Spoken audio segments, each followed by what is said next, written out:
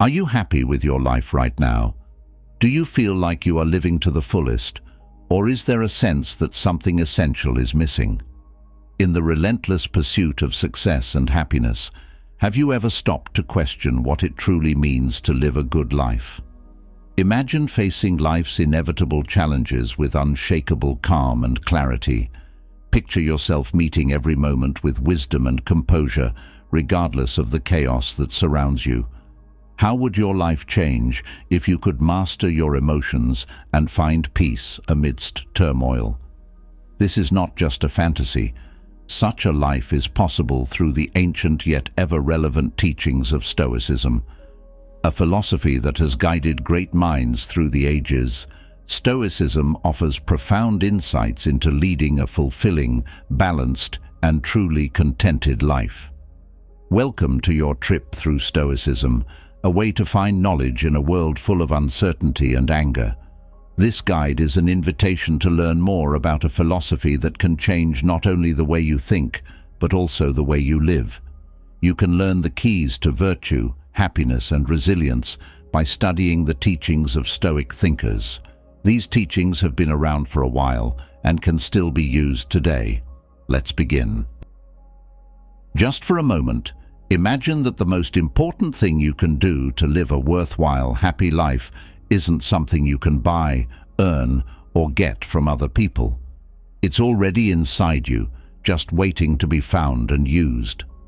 This isn't just a thought experiment, it's based on the knowledge of Stoicism, a theory that has helped countless people find peace, tranquility, and purpose in their lives over the centuries. Stoicism teaches us that the key to a good life is not praise from others or material wealth, but learning how to value ourselves through the virtues of temperance, courage, knowledge, and justice. It's a strong message that even though the outside world is chaotic and hard, we have the solid basis for our own happiness and well-being inside us. We're getting rid of the layers of social standards and self-doubt to find the timeless Stoic principles that can change how we see the world and ourselves. This journey isn't just about getting better at yourself. It's also about regaining our true worth and learning how to live in line with our core values. You have come to the right place if you want to find inner freedom, resilience, and satisfaction. We've all done it at some point or another, not appreciating ourselves enough. We settle and make concessions all the time, whether it's staying in a job that drains us, staying in relationships that don't make us feel better, or not going after our dreams because we're afraid. Why do we do that, though? Is it worry? Is it ease? It could be a mix of the two. Stoicism tells us that these outside things don't change our real worth, our soul. Stoicism shows us that how we react to our circumstances, not where we are, like a house or a jail, is what really describes us. It means realizing that we may not be able to control everything in our lives, but we do have complete control over how we think, feel, and act. Take a look. When we settle for less than we deserve, aren't we saying that other people and things have more power over us than we do? Stoicism tells us to question that idea. We should ask ourselves, does this situation fit with my values? Am I reacting to this in a way that shows how valuable I really am? Not only that, but Stoicism doesn't just leave us sad if the answer is no. No, it gives us power. Look, it tells you that you have the power to change how you see things, how you react, and in turn, how your world is. Remember this stoic advice the next time you feel like taking less than you deserve. You are not your job title, your relationship status, or the size of your bank account. Remind yourself of this. Your worth depends on how well you can stick to your ideals and always act with courage, knowledge, and honesty, no matter what. We shouldn't blame ourselves for our problems. Instead, we should give ourselves the tools to see and take control of the things we can change. Let's not settle for less not because we think we deserve it or are cocky, but because we know how valuable we are. The strength and resilience that come from knowing who we are and what we stand for will help us deal with the problems that life throws at us. We're not just living when we do that. We're growing in the most stoic way. Stoicism, which has a deep understanding of how people work, doesn't tell us to brag or boost our egos. The acceptance of our own efforts and virtues, however, is encouraged. Why? Because honoring our successes isn't just a way to feel good about ourselves. It's also a way to honor the hard work, focus, and persistence that got us there. It has to do with keeping our promises to follow through on our goals and beliefs. Let us break it down. Virtues like temperance, justice, courage, and knowledge are at the heart of Stoicism. Most of the time, these virtues are what help you reach your goals, no matter how big or small they are. It might have taken bravery to apply for that job, smarts to deal with the problems that came up, or discipline, which is a form of moderation, to clean out that room. It's not just the result that you're undervaluing when you say your success was due to luck, or that anyone could have done it. It's also the virtues you used to get there. In that case, how do we change this idea? How can we start to be proud of what we've done without becoming cocky? Being stoic means being honest and balancing your emotions. For the sake of the truth, not your pride, it means saying, yes, I worked hard for this. Yes, I faced challenges and overcame them. And yes, this achievement is a reflection of my effort and my virtues. Okay, now I want you to think of something new you can do. It does not matter how big or small it is. The virtues you used to get there come to mind. Maybe you were very disciplined, brave or smart when you stepped out of your comfort zone or learned how to solve your problem. Take a moment to recognize the virtues that led to the accomplishment, whatever it is. You're not supposed to pat yourself on the back during this exercise. Instead, it's meant to help you see the truth about your character and work. Practicing this stoic habit can change how we see our own wins and how we see ourselves. It helps us stop being fake humble and start really appreciating our own strengths and skills. It teaches us that recognizing our accomplishments is about recognizing the virtues we've lived and the hard work we've put in, not about our egos. It happens all the time, right? Sometimes it feels noble, generous, and even brave to do things like stay late at work, to help a co-worker, skip your morning run to make breakfast for your family, or put your own goals on hold to help someone else's. But here's the catch. Putting other people's needs ahead of your own all the time can make you tired, angry, and lose your sense of who you are. If you try to fill cups from an empty jar, you'll get nowhere. Stoicism isn't about being cold or self-centered. Instead, it puts a lot of weight on ethics and making the world a better place but it also shows us how important it is to take care of ourselves. Why? Because taking care of yourself isn't selfish. It's what makes it possible to care for others well. Stoicism tells us that before we can help other people, we need to make sure our own physical, mental and spiritual well-being is in good shape. Let us break this down a bit. Understanding the difference between what we can control and what we can't is something that Stoicism teaches us. We are in charge of our own thoughts, ideas, deeds, and yes, even self-care. No matter how much we want it to be different, we can't directly affect the health and happiness of other people. What we can change, though, is how ready we are to help, support, and love the people around us. We need to start by taking care of ourselves. How much more gentle, understanding and present are you for the people in your life when you're well-rested, healthy, and at peace? How can you help their health and happiness even more effectively? Mental and emotional resilience are just as important as physical health in this situation. It means having the inner strength to care about others, give them good advice, and be a source of security and strength for them. How then do we find this middle ground? How can we make sure that helping others doesn't mean we forget about our own needs?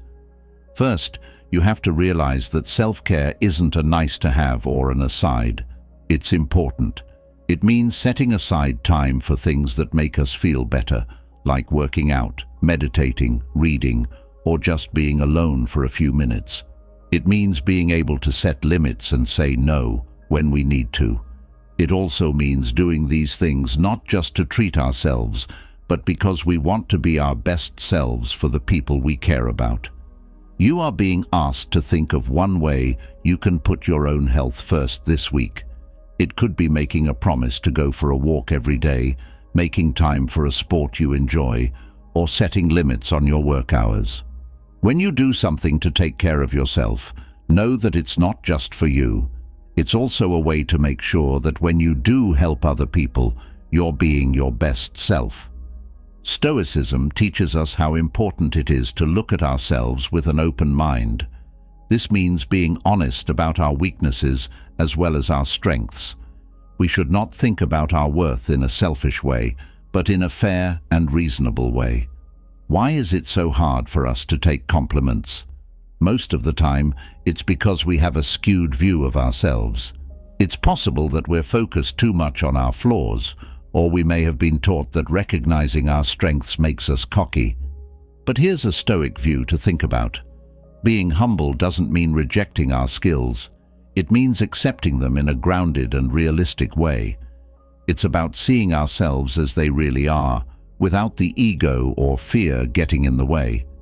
Stoicism tells us that recognizing our skills and accomplishments does not make us less valuable. Accepting praise with grace is a good way to become more self-aware and objective. It helps us understand who we really are by allowing us to see the virtues we have and the work we've put in. When someone says nice things about us, they're usually noticing something real and admirable about us. We miss out on the chance to see ourselves through someone else's eyes and understand how we affect the world around us when we ignore these times. How can we get better at taking compliments? It starts with changing the way we think. Try to see praise as a mirror that shows off your virtues and hard work. Instead of avoiding the truth, take a moment to think about what they said. You can practice by simply saying, thank you. Don't downplay or avoid the compliment. Just be thankful that it was given. Additionally, Stoicism tells us to make the most of these times by reflecting. Ask yourself, what did I do to deserve this praise? What does it say about my attempts and virtues? This isn't about stroking your ego, it's about recognizing and understanding the part of you that can do great things and make a difference. Have you ever been faced with a choice that seemed easy but left you stunned and unable to make a choice? There's more going on here than just not knowing what to do. This fear of making the wrong choice is a sign of a deeper problem, a lack of trust in oneself. It's like we're standing on the edge of a diving board and looking down into the pool below. We know we need to jump, but we can't. In this fog of uncertainty, Stoicism shines like a light. For us, it shows us that making choices based on knowledge and reason is more important than being sure of what will happen. Stoicism tells us that we have full control over the process of making choices, but not over how those decisions turn out. It means making decisions that are in line with our ideals, being honest, and accepting that the results, no matter what they are, are just the way life is. What is it that makes us afraid to choose? Most of the time, it's because we don't want to make the wrong decision, which could lead to results we see as fails or mistakes. Stoicism, on the other hand, asks us to change how we view failures and mistakes. Every result in the Stoic perspective is a chance for growth and learning. Failures don't exist, lessons do. When we look at things from this point of view, we can trust ourselves to make brave and sure choices, knowing that whatever happens will help us grow and understand more. How, though, do we learn to trust ourselves? How can we, so to speak, get better at making decisions? The first step is to accept knowledge and reason. Take some time to think about your choice before making one. Ask yourself, does this choice fit with what I believe in? Am I acting in a moral way? When you base your choices on your core values and good sense, you can be sure that you made them with the best of goals and knowledge, no matter what happens. Stoicism tells us that we should accept the results of our choices and learn from them. We can learn something from every event, even if it's not what we wanted. This is a call to think about what went well and poorly, and how we can use these lessons in the future. Self-trust grows when we think about and learn from our experiences. It reassures us that we can handle the rough seas of life, make choices that are in line with our values, and learn from each one. Stoicism shows us how to make smart choices, especially about how to use our minds. It says that focusing on our flaws and failures and berating ourselves for every mistake we think we've made is like trying to steer a ship without paying attention to the wind and waves. We're focused on the wrong things. The Stoic philosophy tells us that achieving perfection is a pipe dream. Instead, the goal is growth, which means taking steady, well-thought-out moves. Sign 6. Critiquing yourself too much. Why do we fall into the trap of being too hard on ourselves when we want to be better people? Most of the time, it's because we hold ourselves to impossible standards, ones we would never hold anyone else to. We forget that part of being human is having flaws, making mistakes, and most importantly, being able to learn and grow from them. Self-compassion and the desire of progress over perfection are two strong Stoic remedies for this kind of self-imposed injustice. From a Stoic point of view, Self-compassion doesn't mean cuddling up to ourselves or finding reasons for our flaws. How we treat ourselves should be the same as how we treat a good friend, with kindness, understanding, and forgiveness.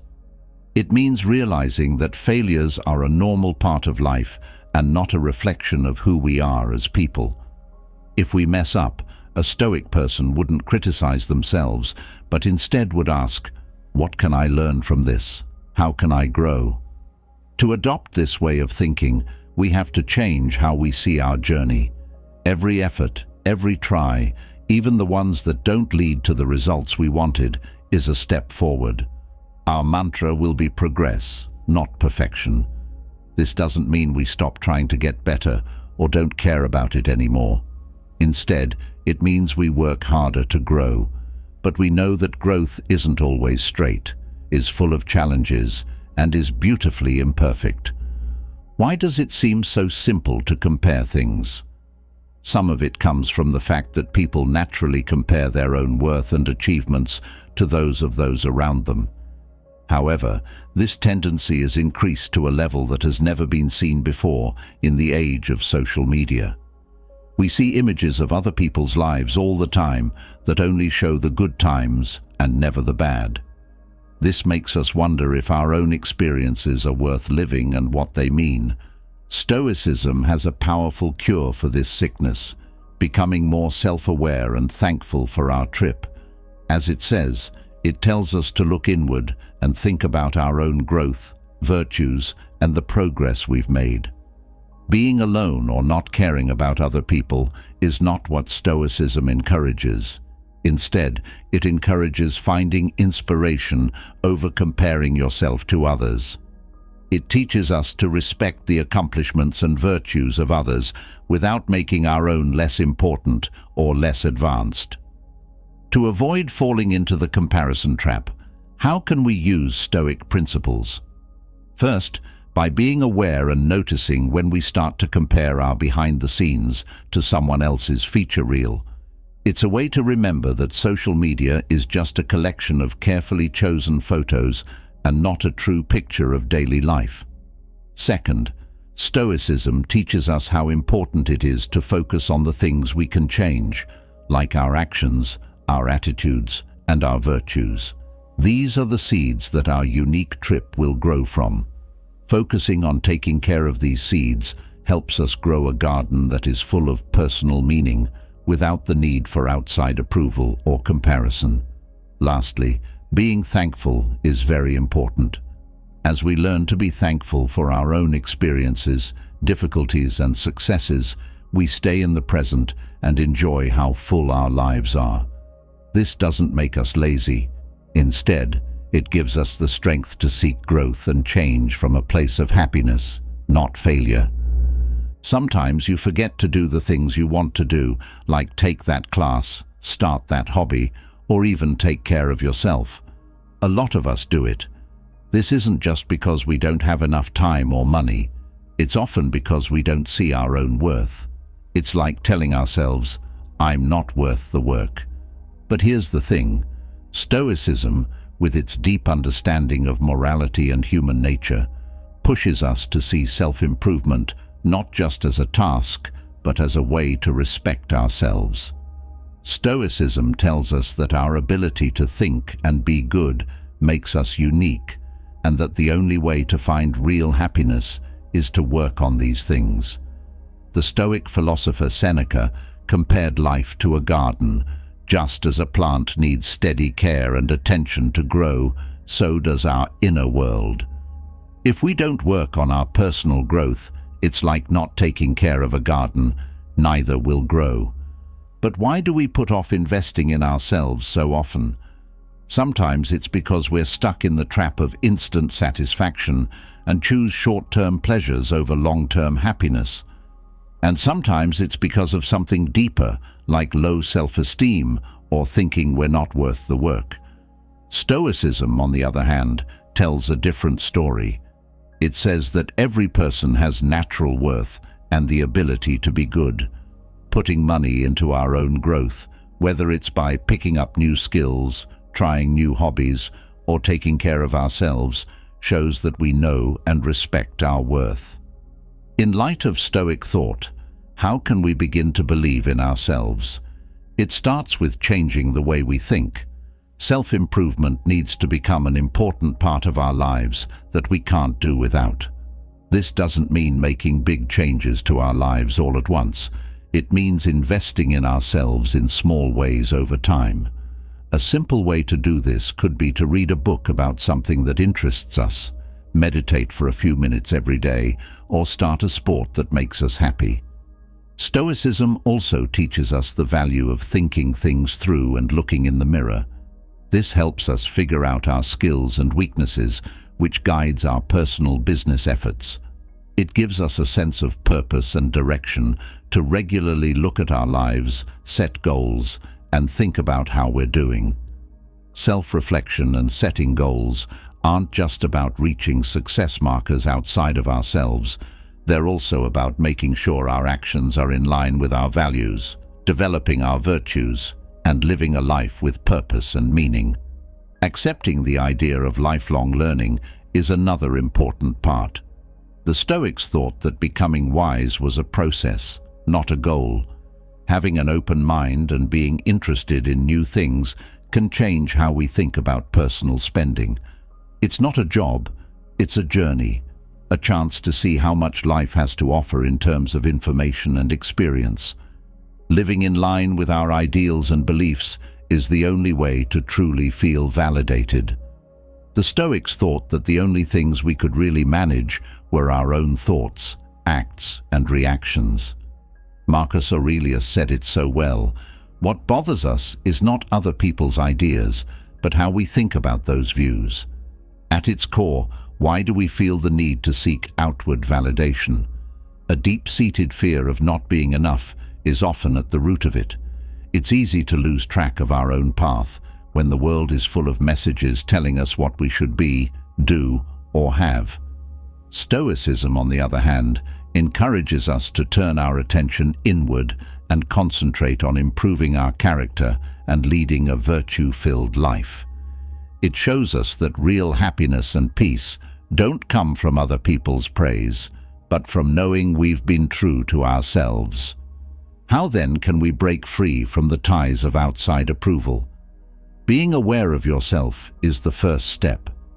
By being aware of how much we want to be liked, we can start to question why we do the things we do. Are we working toward a goal because it fits with our values or because we want praise? Stoicism tells us to regularly think about ourselves, to check our goals to make sure they are in line with our own values and principles. Developing self-sufficiency is another Stoic practice that can help us fight the need for approval from other people. This doesn't mean shutting ourselves off or not caring about other people. It means being happy and satisfied with ourselves and realizing that we are whole just the way we are. Another Stoic teacher, Epictetus, stresses the value of concentrating on what we can control and letting go of what we cannot. When we work on being happy inside, we depend less on outside sources of approval. Stoicism also tells us to change how we think about success. Stoicism teaches us to measure success by our capacity to live in accordance with our beliefs rather than by external praise or accomplishments. The quest of virtue, the application of reason, and the development of resilience in the face of life's difficulties are the keys to success from a Stoic viewpoint. It feels like we're in a thick forest where the air is heavy, the path isn't clear, and every step is hard. If we stay in a bad situation, like a toxic workplace or a relationship that makes us feel unappreciated, it's usually because we truly believe that we don't deserve better. But this is where Stoicism is both a mirror and a map for us. The Stoics thought that our surroundings can have a big effect on our ability to be good and happy. However, they also stressed that it was our duty to shape our surroundings and pick the right people to be around. Marcus Aurelius tells us that our inner peace is not based on what is happening around us, but on how we react to it. Why do we put up with bad situations? Most of the time, it's because we don't believe we can change. We may be afraid of the unknown, hold on to what we know, or question our worth. Stoicism fights these fears and doubts by telling us to see how valuable we are and how much control we have over our actions and thoughts.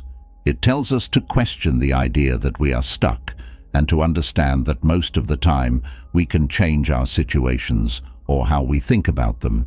Stoicism gives us tools to get around and change the places we're in. The development of internal resilience and liberty is a crucial Stoic practice. For this reason, we shouldn't be indifferent or detached, Instead, Marcus Aurelius suggests that we build our inner citadel so that we can stay strong and true to our values, even when things are bad and chaotic. Building a strong inner core makes us less vulnerable to the bad things going on around us and more able to make decisions that are good for our health.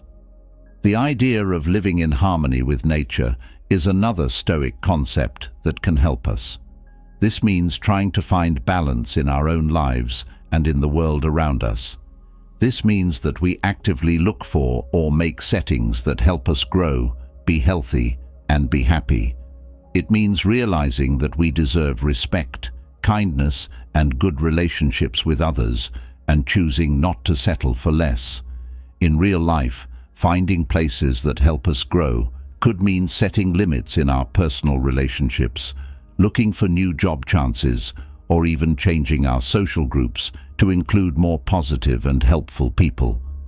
It also means putting time and effort into creating a personal space by doing things like writing, meditating, or hobbies that are good for our mental and emotional health. What is it about fear that makes it so strong? Often, it's because we know very well what we have to lose.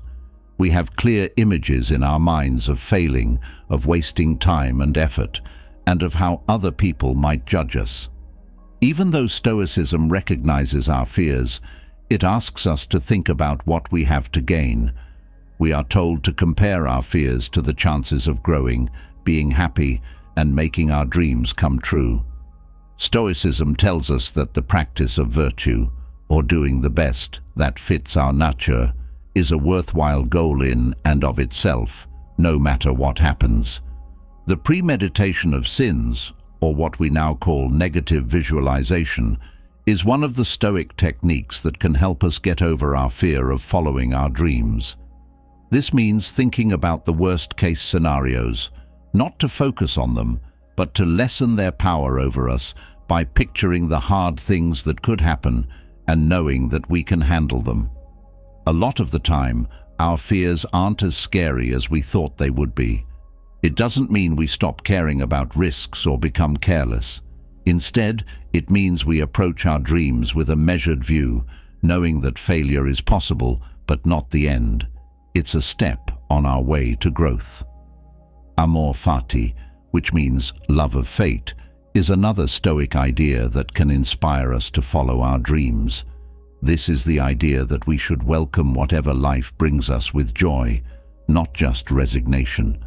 When we follow our dreams with the help of Amor Fati, we let all kinds of events happen to us, including wins, mistakes, joys, and sadness.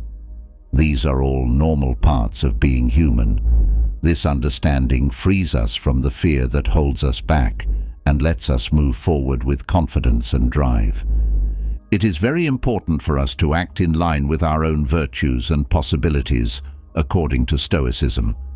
It tells us that our real worth isn't based on what other people think of us, but on how committed we are to living a good life and working hard to reach our goals with honesty, courage, and integrity. In this light, being afraid to follow our dreams is not only something that stops us from succeeding, it also stops us from having a life that is truly ours. Why do we forget this important Stoic lesson so frequently? Part of the reason is that we naturally want to connect with others and feel like we're important. If we don't watch out, this can make us look for our worth in other people's views or in the goals of success we reach. Stoicism, on the other hand, tells us that real worth comes from living in line with our nature and virtues. Epictetus said very well that the best way to get freedom is not to get what we want, but to get rid of what we want. This concept has a big impact on how we think about our worth. Real freedom and happiness don't come from approval from other people, but from understanding and accepting our own worth. Stoicism tells us to stop focusing on what we can do for other people and start working on improving our character.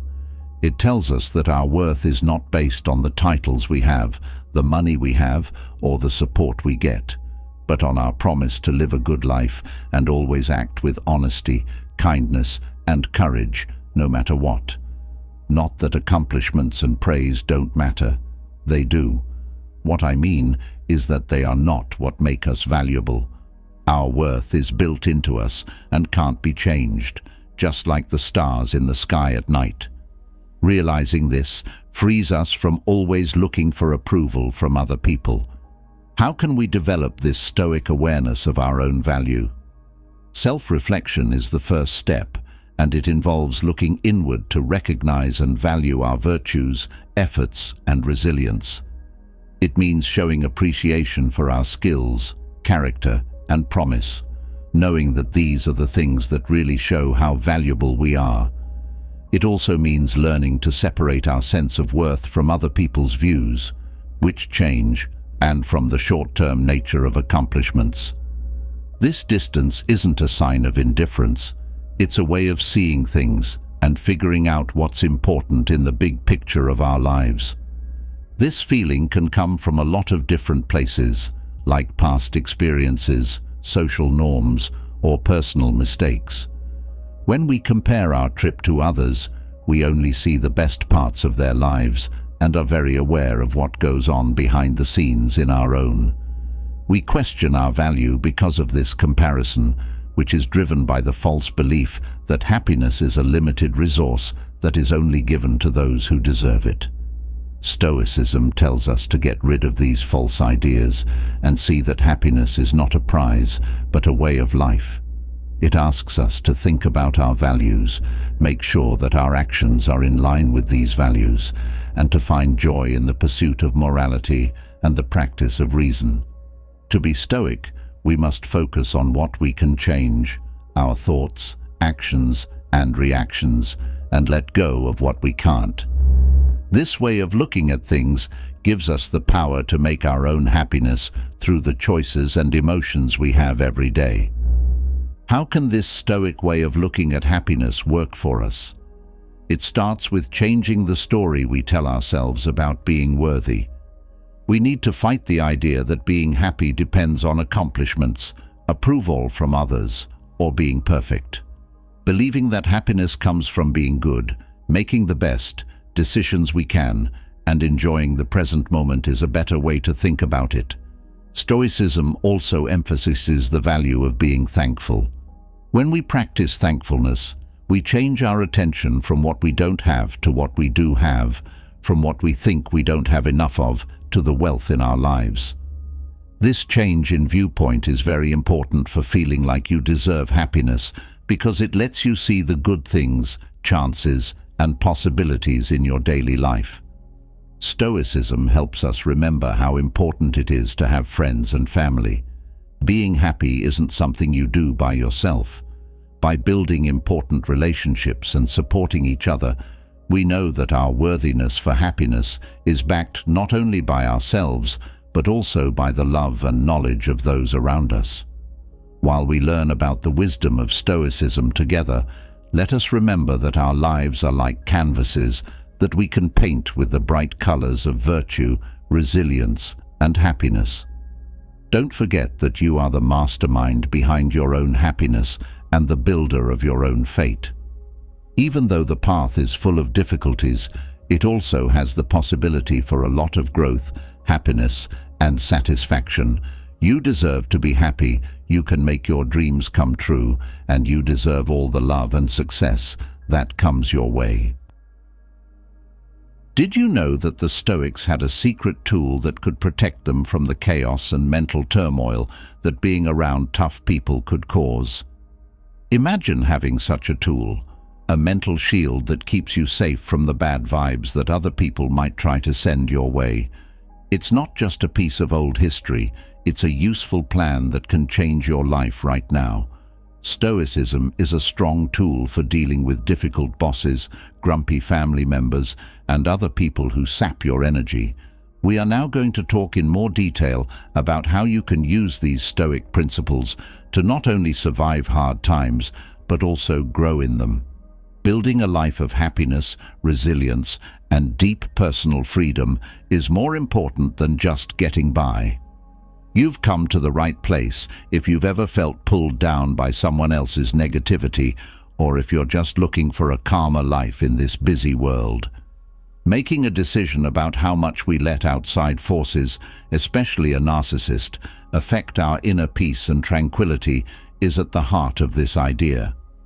Marcus Aurelius said, You have power over your mind, not over outside events. Realize this, and you will find strength. This strong quote hits home when we have to deal with a narcissist. As the saying goes, our real power is not in changing the narcissist or their behavior.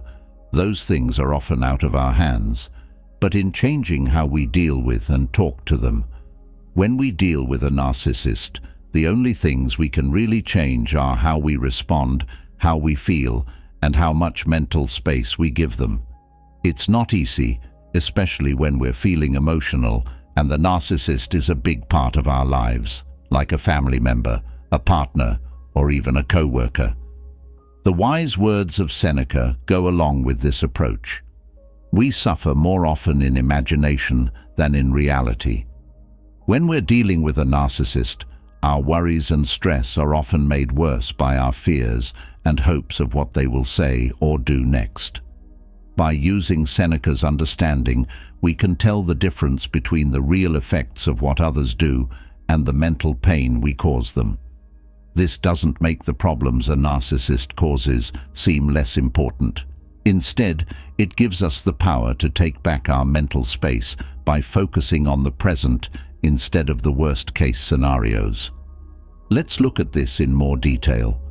Picture yourself carrying around a bag every day, and every time the narcissist does something bad, like try to control you or say something hurtful, they add a rock to it.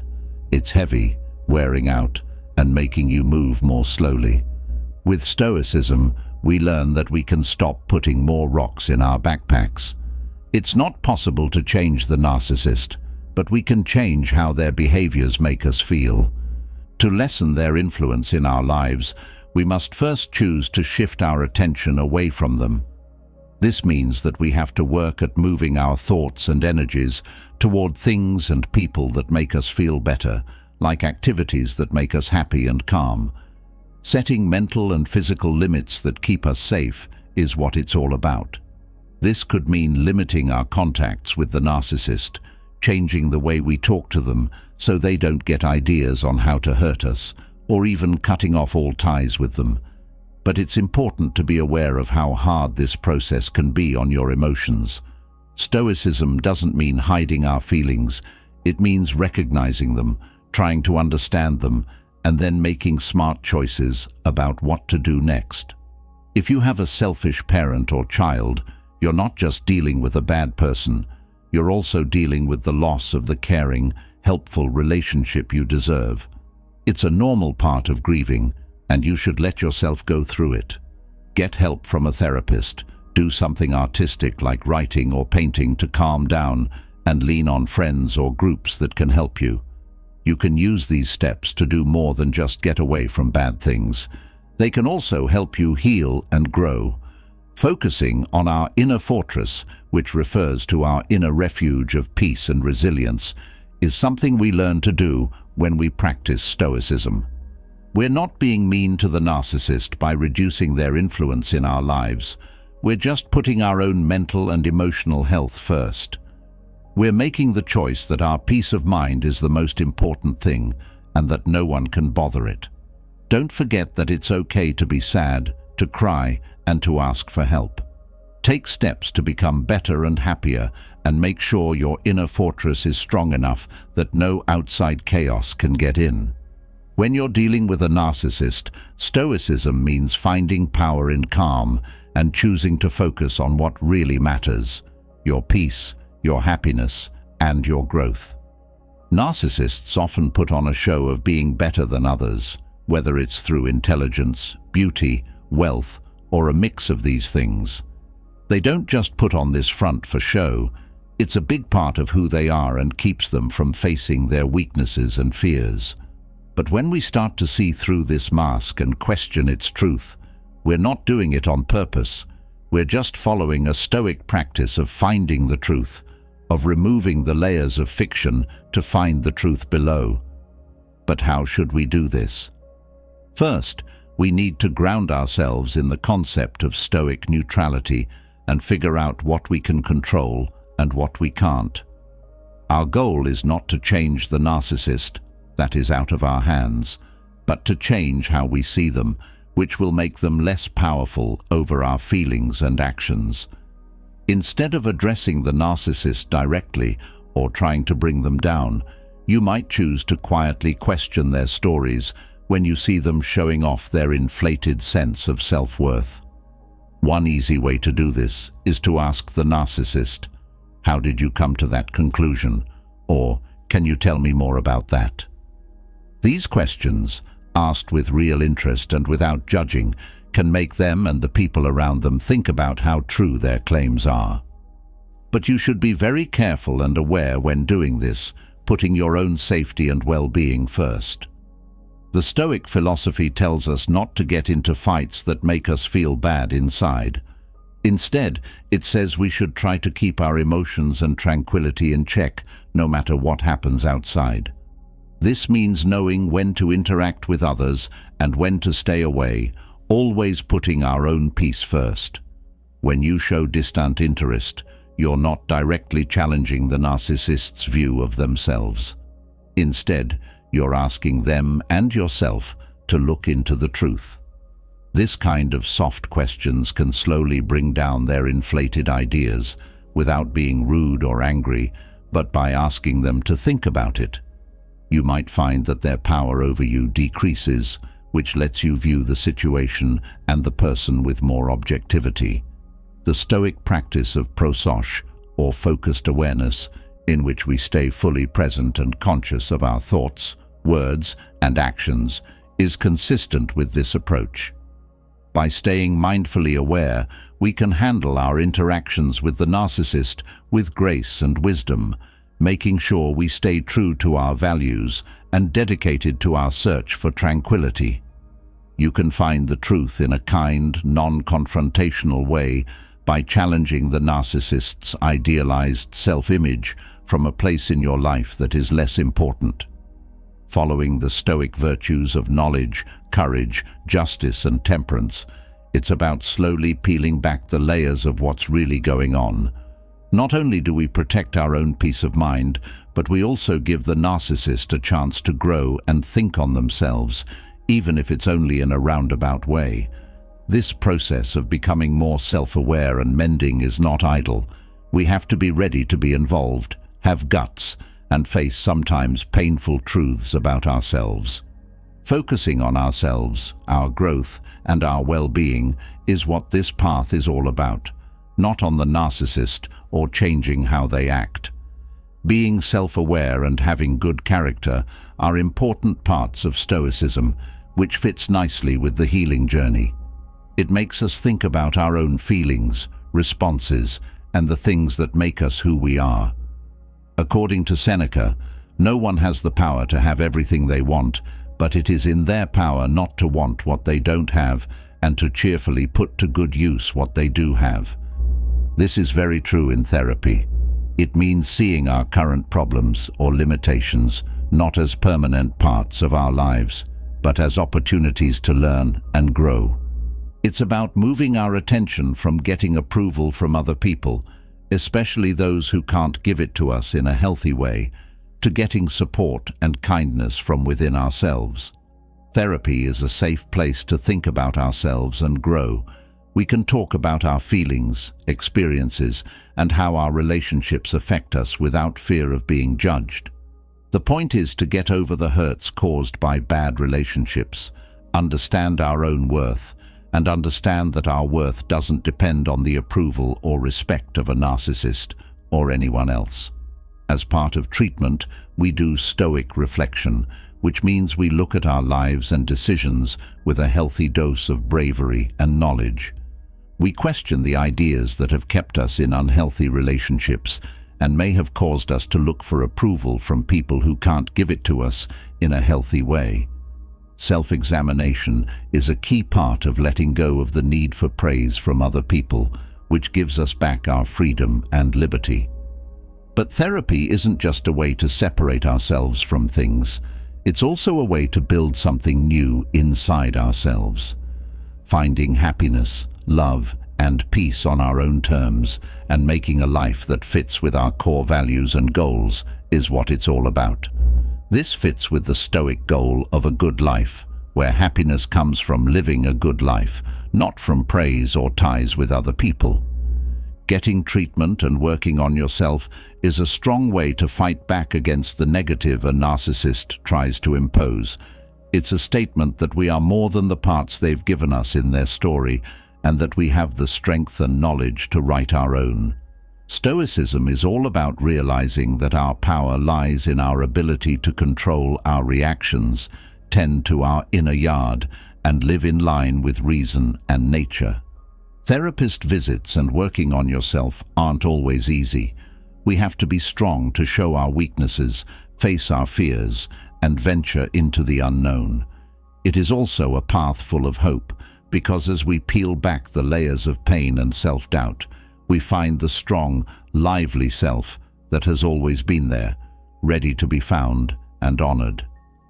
In the spirit of Stoicism, therapy teaches us that the greatest freedom comes from within. It's the freedom to choose how we feel, how we react, how we treat others, and how we live our whole lives. This process of healing and growth is a testament to our resilience and potential for change. It tells us that no matter what problems we face, we have the power to find peace, joy, and satisfaction inside of ourselves. I think we should go through this journey with the bravery of a Stoic, seeing treatment and personal growth as chances to make our own lives better. Let's stay on this path of self-awareness and virtue, understanding that every step we take will lead to a more honest, strong, and happy life. Stoicism tells us that we have full control over our thoughts, feelings and deeds, but not over what happens in the outside world or what other people do. This idea gives us a lot of power, especially when we're dealing with a narcissist whose actions can feel like they are directly attacking our mental health. Let us break this down a bit. The narcissist may try to irritate, trick, or upset you with their words or deeds because that is how they are wired. Your first thought might be to fight back, reply in kind, or get involved in the argument. Yet, this is exactly where Stoicism offers a different path, one of peace, calm, and inner tranquility. Not denying or stifling your feelings is not the same thing as choosing to control your reactions. It means recognizing your feelings and then consciously choosing how you want to behave. In this case, you might choose not to reply at all or take a moment to pause, breathe, and think before answering. The important thing is to understand that you have control over how you react. The narcissist does not have control over your thoughts. You are in charge of your own mind. Mindfulness and practice are needed for this approach to work. You need to become very aware of what makes you feel bad and how your habits control your responses. It means making a promise to pay attention to your ideas and feelings without acting on them right away. Stoic activities, like writing in a notebook or meditative thought, can be very helpful in this situation because they help you take a step back, see things logically instead of emotionally, and decide how to react in a way that fits your values and your desire for peace. You are being very stoic by refusing to play the narcissist's game and choosing calmness and detachment over engagement and conflict you are practicing the virtue of apatheia, or freedom from passion, which is not the absence of feeling, but the absence of disturbance. You are living up to the Stoic ideal of staying calm when provoked. If you take this stance, you're not giving up or running away. You're saying, I am the master of my soul, the guardian of my peace. Your actions cannot penetrate the fortress of my mind unless I allow them to. It's a statement of independence, a claim of power, and a promise to your own well-being. By using this tactic, we not only protect ourselves from the bad effects of the narcissist's behavior, but we also develop a stronger sense of self-awareness and resilience. We learn to handle the world with peace of mind because we know that our inner peace can't be taken away. The freedom to choose how to react to the world around us to live by our values, and to keep our tranquility despite the difficulties we face is the greatest form of freedom. Let's keep in mind that we have the power to protect our mental space, manage our responses, and live a life of honor, peace, and strength. This isn't just a way to deal with narcissists, it's also a plan for living a good, thoughtful life. Now we'll talk about the concepts of Stoicism and 11 things that you need to get rid of right away. Perhaps you're wondering why there was silence. Honestly, viewers, silence is the key to happiness and mental peace. It gives us a chance to think, relax, and get back in touch with ourselves. We make room for growth, focus, and tranquility in our lives by eliminating these particular things. Tell me, what are these things we need to say goodbye to? I'll not only tell you about these 11 things, but I'll also give you ideas and tips on how to get rid of them for good. Don't forget that getting rid of these things may not be easy, but it's important. Getting rid of things that don't serve us anymore helps us grow as people and live a fuller life. So get ready to clear out your life and find real peace inside, starting now. Number one, self-defeating. When we're thinking about ourselves, we often have a negative and self-critical conversation that turns out to be harmful. This kind of negative self-talk has a huge impact because it lowers our self-esteem, makes us feel less worthy, and stops us from growing as people. Today is the day to break out of these bad habits and develop an attitude full of self-compassion and positive mantras. The famous philosopher Marcus Aurelius said, The happiness of your life depends upon the quality of your thoughts. This quote reminds us that the things we think can change the way our lives turn out. So, it's important to choose thoughts that help us instead of ones that get in the way of our growth. When we compare ourselves to others, question ourselves, or have a skewed view of our own skills, we often start to talk badly to ourselves. To get free from these ties, we must first be aware of our bad thoughts. We must accept that they are there, but we must not let them define who we are. Instead, replace them with self-compassion and positive mantras. It is important to develop habits that help us keep a good attitude as we work to improve ourselves. Start by being grateful. Being thankful helps us shift our attention from what we don't have to what we do have. Surrounding ourselves with positive things like inspiring books, motivational talks, or friends who are there for us is another useful tip. Doing things that make us happy and satisfied can also drown out the voices of self-doubt. It's important to remember that we can choose our thoughts. If we constantly replace negative thoughts with positive ones, we can change our inner world into one of strength, resilience, and self-love. Number two, bad relationships. Relationships that are bad for us can poison our minds and stop us from growing. These relationships, which are full of bad vibes, drama, and disrespect, seep into our lives like poison, stealing our happiness and energy. We need to be aware of how these relationships affect us and find the strength to cut ties with people who are bad for us. The first thing we need to do to get out of bad situations is to surround ourselves with positive people who will help us. We need to look for people who are positive, inspiring, and truly care. Getting close to the right people lets us soak up their good vibes, which helps us grow into the best versions of ourselves. Don't forget that the people we spend time with make us who we are. Setting clear limits and putting our own health first are also important ways to get rid of unhealthy relationships. The great philosopher Socrates said, an unexamined life is not worth living. Take some time to think about which relationships are bad for your growth and should be avoided. Be honest with yourself and find the strength to cut these unhealthy ties. It might hurt and be hard, but taking care of your mental, social and spiritual health is very important. Remember most of all that you have the power and the right to protect your happiness and peace. Bad habits are number three. Taking on bad habits can hurt our lives in many ways, including our minds and bodies. These habits, like drinking too much, smoking too much, or eating too much, tend to take over our lives and keep us stuck in a circle of self-destruction.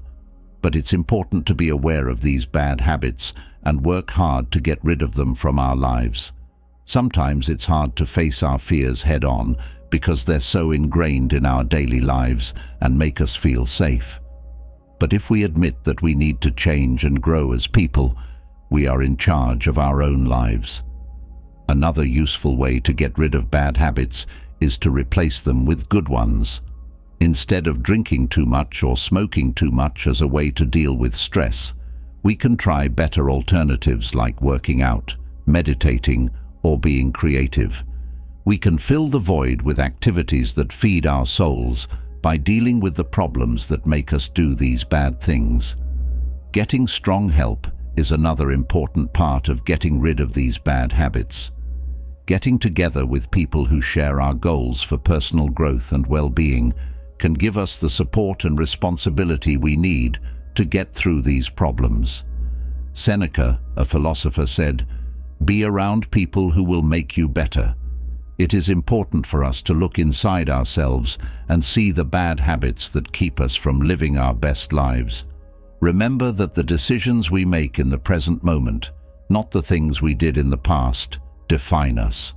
Let's leave the sadness that used to consume us behind and choose growth, resilience, and a life full of happiness. Regret and guilt are number four.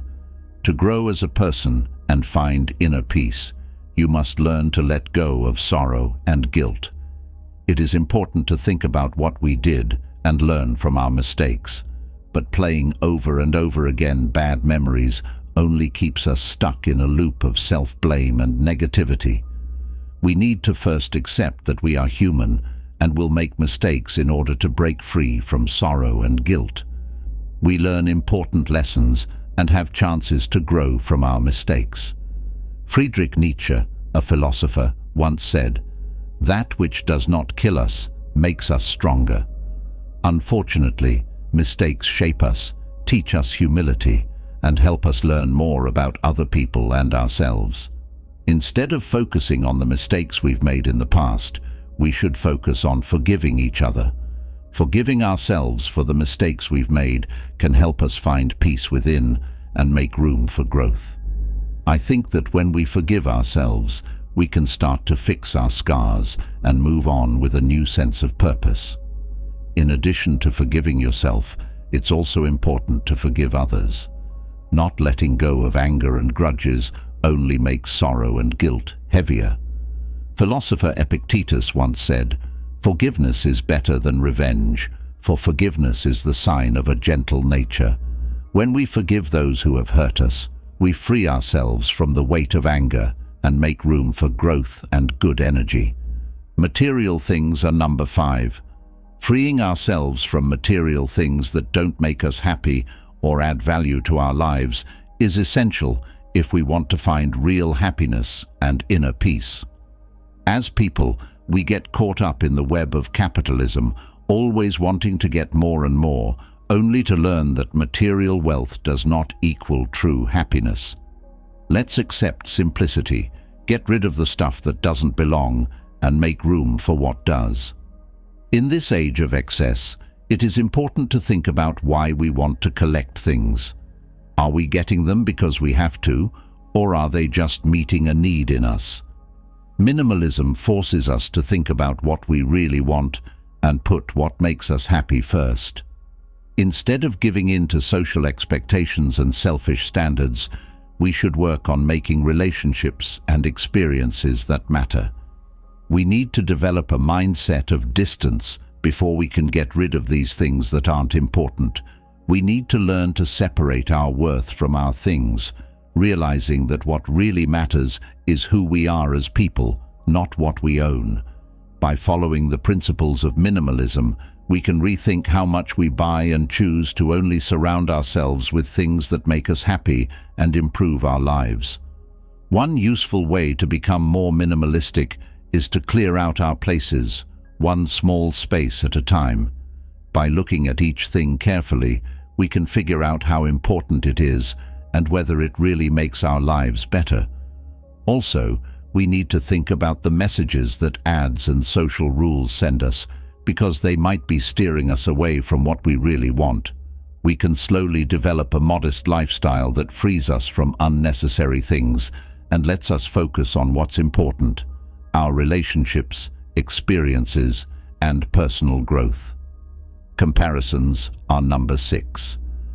A very important skill for self-acceptance and personal growth is learning not to compare ourselves to other people.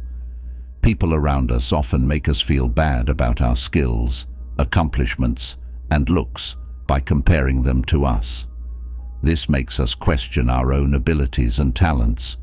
However, it is important to remember that everyone has their own skills, flaws, and paths. When we accept this, we can stop needing other people to validate and approve of our actions. A famous philosopher once said, comparison is the thief of joy. This quote really hits home because it reminds us that always comparing ourselves to others takes away our happiness and satisfaction. We need to stop comparing ourselves to others and instead focus on our own strengths and ways to get better. Instead of focusing on what other people have done or what we think are their benefits, we should work on developing our own skills, by accepting this theory, we help ourselves understand that our worth doesn't come from comparisons, but from our desire to grow as people and become the best versions of ourselves. We can go through life with a sense of purpose and satisfaction when we don't have to constantly compare ourselves to others. Let's work on having an attitude that values individuality, sees the beauty in our skills, and accepts the unique path we are meant to take. Instinctive behavior is number seven. It is very important to control your impulses when life gets crazy.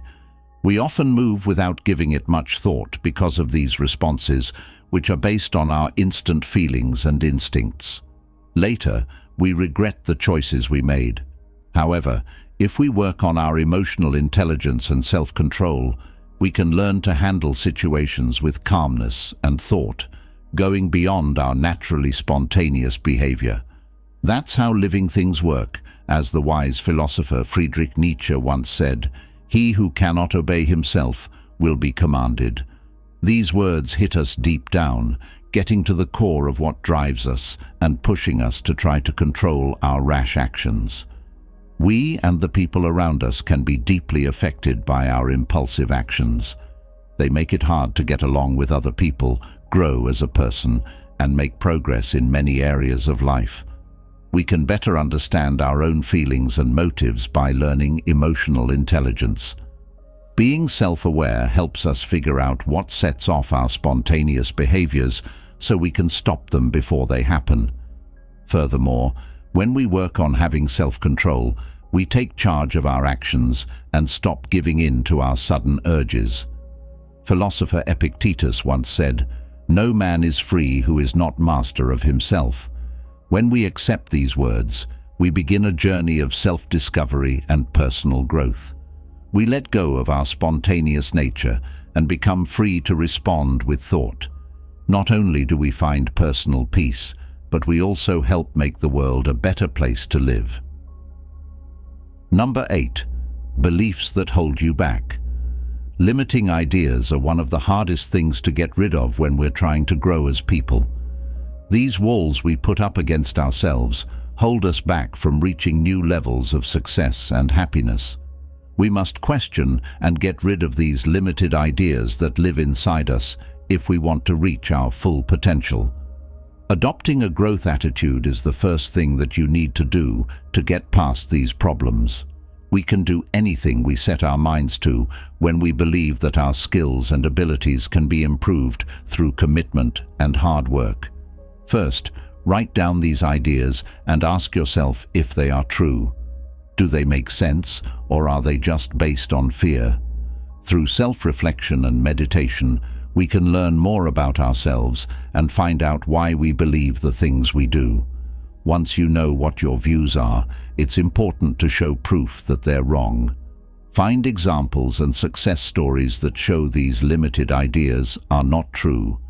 Embrace people who see your promise and can offer help and guidance. Finally, it's important to change limited ideas with powerful ones if you want the change to last.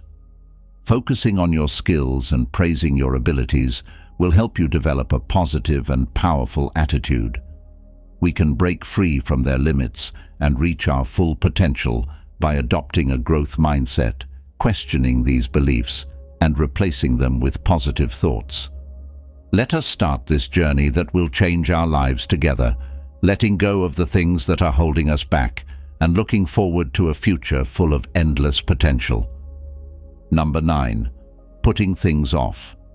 Getting disciplined and having a strong work ethic are important for stopping the cycle of putting things off.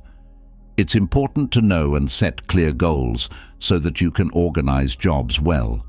When we have a clear picture of what we want to achieve, we can focus our time and energy on the things that really count. Taking small steps towards success is also a great way to deal with the overwhelmed feeling that comes with big jobs.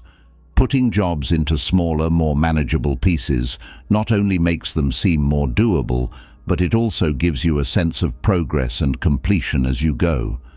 Discipline and a strong work ethic can help you beat procrastination, which is the enemy of getting things done. Philosopher who is wise says, we are what we repeatedly do. Excellence, then, is not an act, but a habit. We can form the habit of being productive and efficient by constantly setting priorities and working toward our goals. Remember that the path to getting rid of delay is not simple, but it is worth it. In order to grow and reach our full potential, we have to accept the things that make us feel bad and push through our inner reluctance. Let's start this trip together and support and encourage each other as we break free from the ties of procrastination and learn to value discipline and hard work. Number 10. Wanting to be great. When we try to be perfect, we often get stuck in a loop of self-criticism and doubt that never ends. We have unrealistically high expectations for ourselves and expect our lives to be perfect in every way. But trying to be perfect can cause us a lot of stress and worry that stops us from doing anything. I think we should let go of our need for perfection and instead focus on making progress.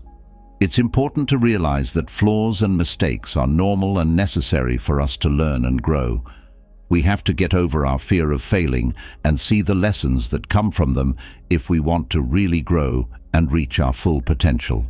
We can change how we think about ongoing improvement by seeing these flaws as steps on our path instead of as obstacles. Another useful way to get over perfectionism is to make goals that are reasonable and doable. Instead of trying to be great at everything, we should focus on getting better and making progress. Let go of the need to be perfect and see flaws as chances to grow. This will help us develop an attitude of progress. Being open to our flaws and mistakes is the only way to grow and reach our full potential. Number 11. Being hooked on social media. In this day and age, where technology is an important part of our daily lives, it's impossible to deny that social media sites are appealing and addicting. We seem to be glued to our computers all the time, looking for approval and interaction online all the time. We need to be aware of how bad social media addiction is, though, and work hard to break free from its grip.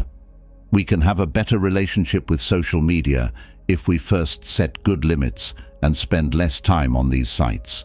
We should focus on making real-life relationships and doing things that make us truly happy and fulfilled instead of mindlessly looking through endless pages. Epicurus said, We must habituate ourselves to a certain detachment from our desires and not be easily disturbed by the withdrawal of things we love. It may seem hard to get rid of social media from our lives, but it's not. You have to consciously choose not to give in to the urge and fill the void with important conversations and useful activities. Remember that we need to learn how to live in the present as our real selves instead of just living online. As the wise philosopher Alan Watts said, we can get back our time, energy and inner peace if we recognize how bad social media addiction is and take steps to stop using it. Let us learn from these thinkers' wise words and rise above the shallow things of the digital age.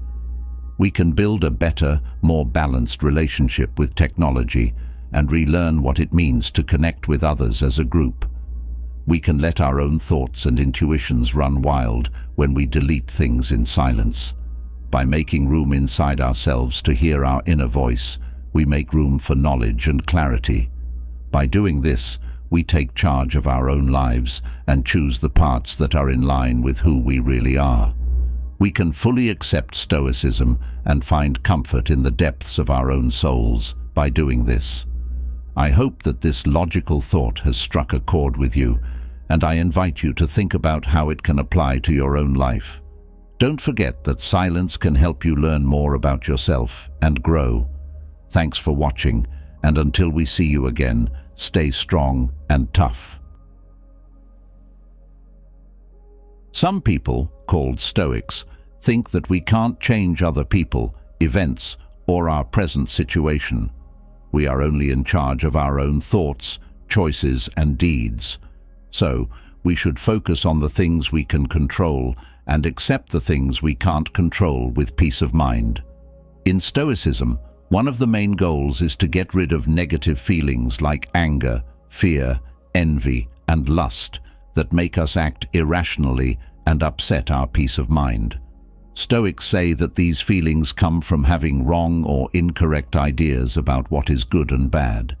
They say that we can get rid of these emotions by looking at our beliefs and changing them. Relationships with other people, especially those of the opposite sex, are one area of life where Stoicism can help us. Stoics think that we should be kind, fair, and respectful to everyone, no matter what their past is or what gender they are. However, they also warn us of the risks and threats that can come from our sexual wants and ties, and they tell us to be very careful when we're with women.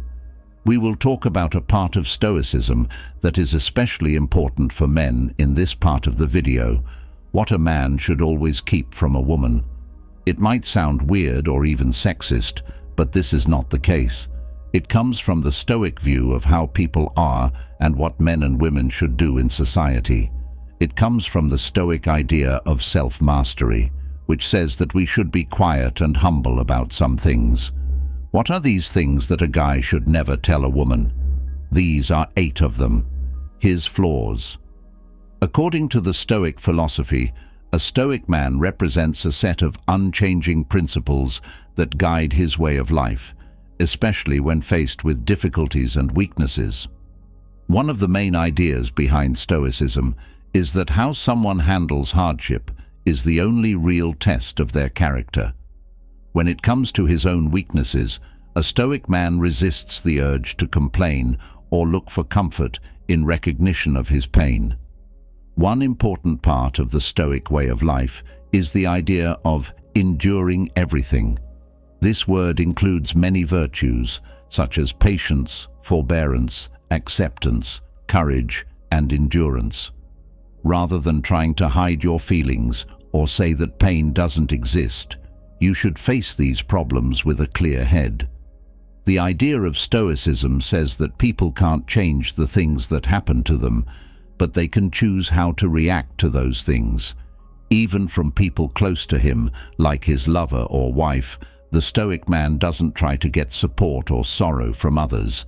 Instead, he draws on his own power and resilience, knowing that the only real source of strength is within oneself. Stoicism puts a lot of value on being able to take care of yourself, which means building up an inner strength that doesn't depend on approval or sympathy from other people. Stoicism takes a different view than common sense, which might say that being open about your weaknesses and asking for help is a sign of strength.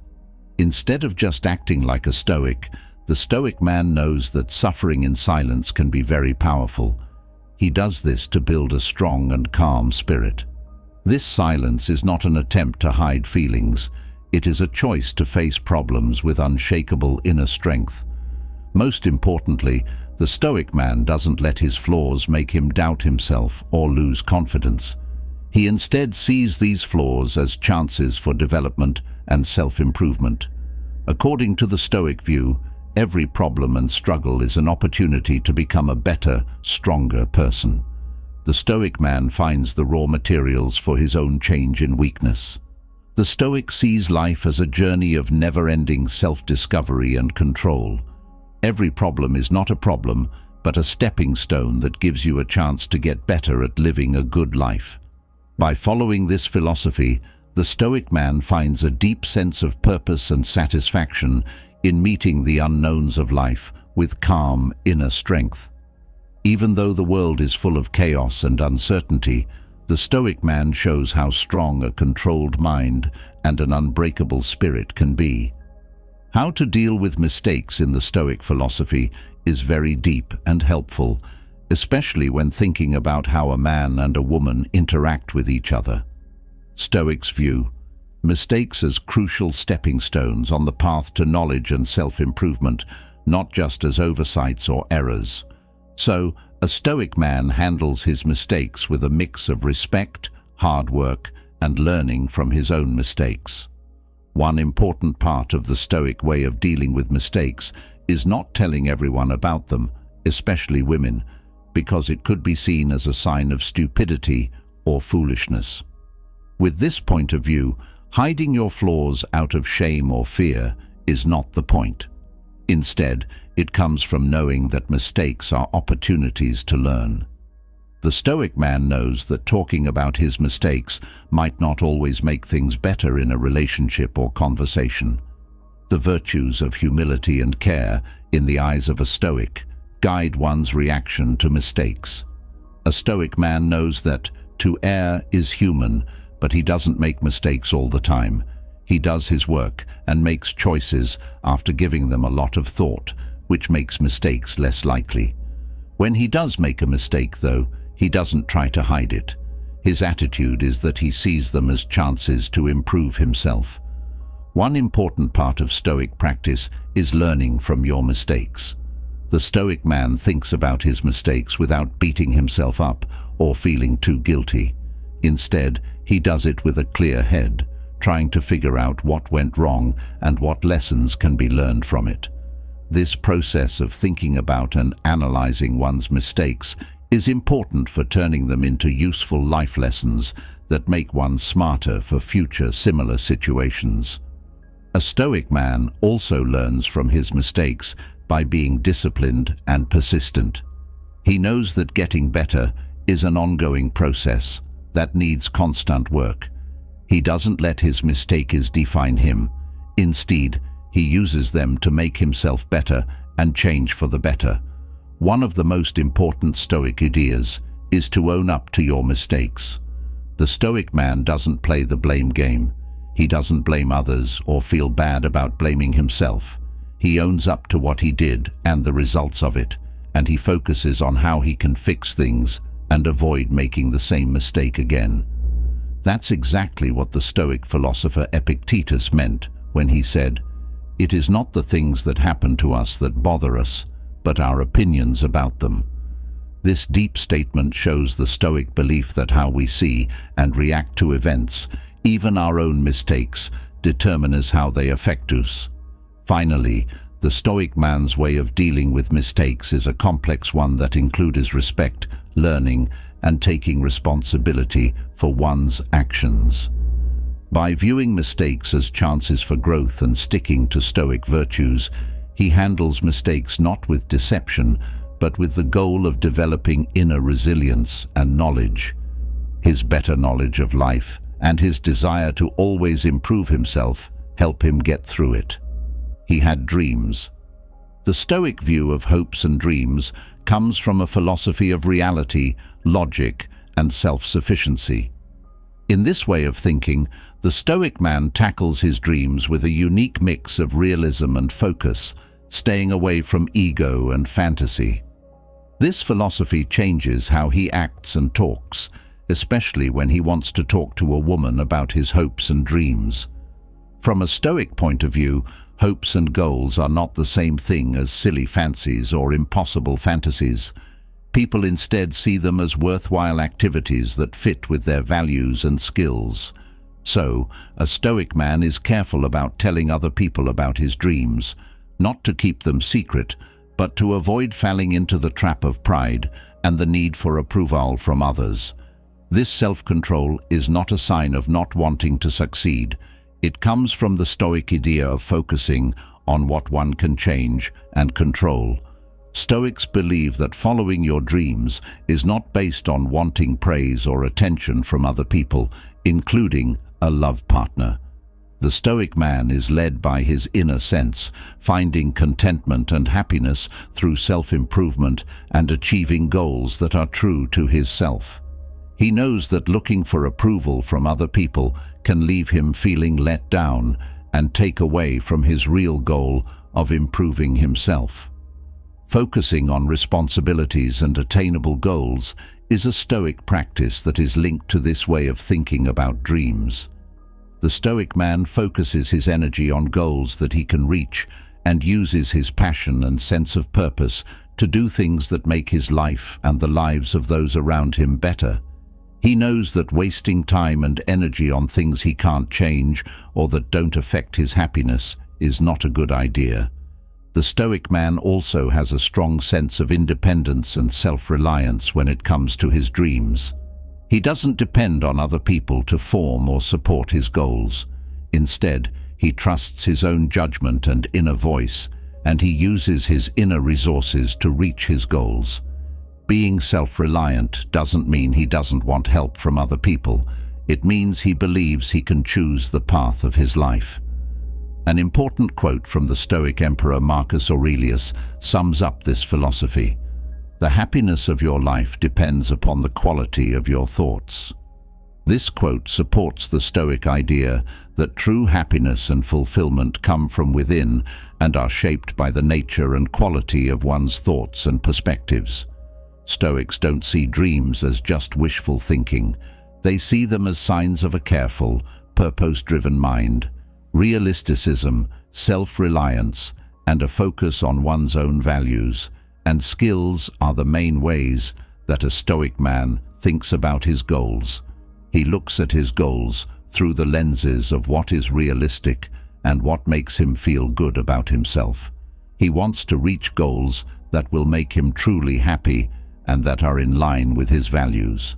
The Stoic dedication to leading a life led by careful, purposeful, and self-sufficient principles is exemplified by this measured and introspective approach to dreams.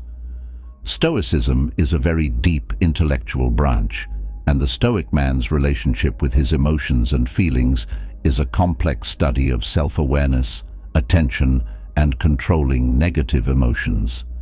Stoic ideas say that we should understand our feelings instead of trying to hide them.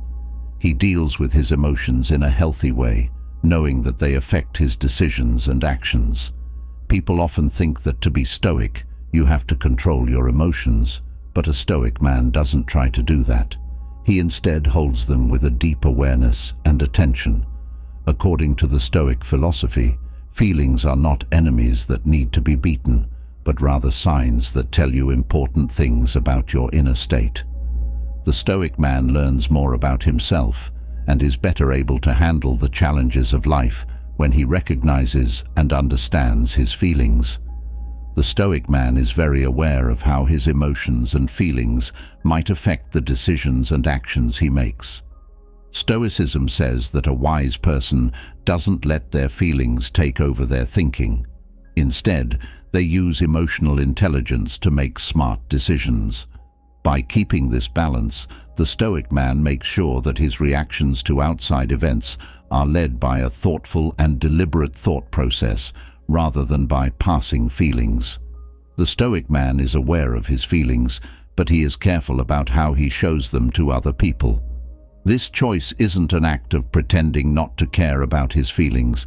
It comes from a real desire to show his feelings in a way that is acceptable and helpful for those around him. His knowledge makes him aware that showing his feelings to anyone, even his lover or wife, may not always be good for relationships. Another reason the Stoic man chooses to hide some of his feelings from others is that he wants to appear logical and calm. Not being emotionally detached is not the goal of Stoicism. The goal is to control your feelings. By picking and choosing when and how to talk about his feelings, he tries to show that he is calm and logical so that he doesn't seem nuts or highly emotional to other people. According to the Stoic philosophy, Feelings and emotions are not thrown away. Instead, they are improved and used to learn more about oneself and become wise. Stoics deal with their feelings in a way that shows how reason and emotion can work together in harmony, creating a dynamic balance that leads to a life of balance, resilience, and careful interaction with the world. To sum up, the Stoic man's way of dealing with his emotions is a complex dance between knowing himself, being emotionally intelligent, and knowing when to show his feelings.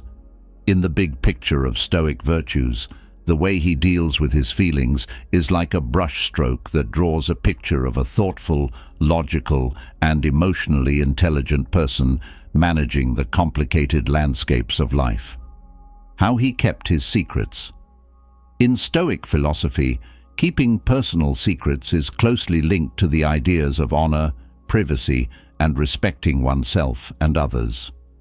A Stoic man shares his thoughts in a certain way because of this point of view, especially when he is with a woman. Stoics don't believe in keeping secrets just for the sake of keeping them. Instead, they believe in knowing the value of privacy and keeping one's honor. Stoics believe that secrets show what a person is like inside and what they've been through. People are very careful with them, not because they might hold something embarrassing or bad, but because they protect privacy and personal honor. A man who is stoic respects the privacy of his own thoughts and feelings and knows that not everyone, not even close friends and family, needs to know everything about his life. In Stoic thought, discretion is a very important trait, and it leads how a Stoic man deals with other people. He doesn't spread rumors or lies about other people because he knows that doing so hurts his own reputation and breaks people's trust. He decides to keep his mouth shut out of respect for the privacy of both himself and others, not out of fear of being found out. This restraint is a testament to his regard for the importance of maintaining personal space and maintaining the secrecy of sharing information. Honesty and dependability are very important to Stoics. The man with the Stoic face is determined to keep his word and stay honest. He doesn't deliberately lie or betray other people because he knows that doing so would go against his morals and hurt their trust in him. His respect stretches to how he handles his own secrets and the secrets that other people have given him. How the Stoic man handles secrets is also marked by a caring and caring attitude. He doesn't tell or use other people's secrets, not even his own. Instead, he looks out for them because he knows that doing so shows respect for their privacy and honor. This defensive attitude isn't meant to hide the truth or avoid taking responsibility. Instead, it's meant to protect the sacredness of personal experiences and inner lives. A big part of how Stoics handle secrets is trusting themselves. The Stoic man relies on his own sense of right and wrong to decide what to share and what to keep private. He trusts his self with his secrets. His confidence in his capacity to control his own inner world is reflected in this self-trust, not in isolation or fear of others. The Stoic philosopher Cicero said, the most sacred thing in the world is the human soul, which perfectly captures the Stoic belief in the holiness of the inner self, which includes one's thoughts, feelings, experiences, and secrets. For the Stoic man, keeping his secrets safe and respecting the secrets of others is a way to honor the soul as something holy. To sum up, the Stoic man's way of keeping his secrets is a careful mix of honor, privacy, and respect. He knows that not every part of his life needs to be shared and values the privacy and respect of his inner life. He cares about privacy, reliability, and protecting personal limits, which shows that he values the purity of the human soul. Following this way of life makes the Stoic man embody the ideals of Stoicism, living a life marked by honesty, privacy, and developing a good and honorable inner self. Sixth, his pains in the tapestry of Stoic thought.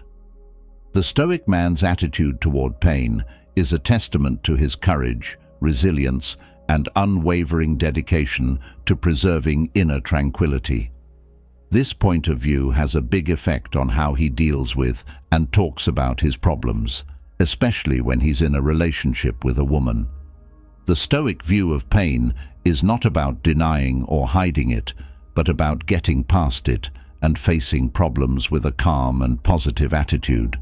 From a Stoic point of view, showing your pain in public, especially in a love relationship, could be seen as a sign of pain and suffering. But the man who is Stoic doesn't give up when he feels pain. Instead, he takes a stoic and upbeat attitude, knowing that difficulties in life are a normal part of experiencing life. The Stoic man's reaction to pain is marked by endurance. He doesn't let his pains control his mood or behavior. Instead, he faces them with strength and patience. Stoicism says that dealing with problems with ease is not a sign of weakness, but of power and resilience. The Stoic man believes in this philosophy and chooses to deal with his pain with patience and, surprisingly, joy. Even though he is in pain, the Stoic man doesn't moan or groan. He instead deals with his pain with kindness and thanks. This choice isn't based on a sadistic need to suffer. It's based on the knowledge that going through pain with grace is a process that changes you. The Stoic man knows that pain, like everything else in life, can be a chance to learn more about himself and grow. The Stoic philosophy supports a unique way of looking for ways to deal with pain. The Stoic man doesn't actively look for comfort or quick relief from his pain. He thinks of pain as a test that will make him stronger. Seeing pain as a chance to learn and grow changes his view of it, making it an important and significant part of his journey. The Stoic man's reaction to pain is not an attempt to show weakness or get pity. Instead, he sees pain as a task for himself and a chance to change himself.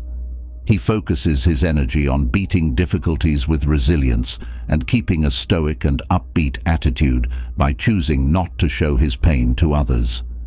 The great Stoic philosopher Seneca said, Fire tests gold and misfortune tests brave men.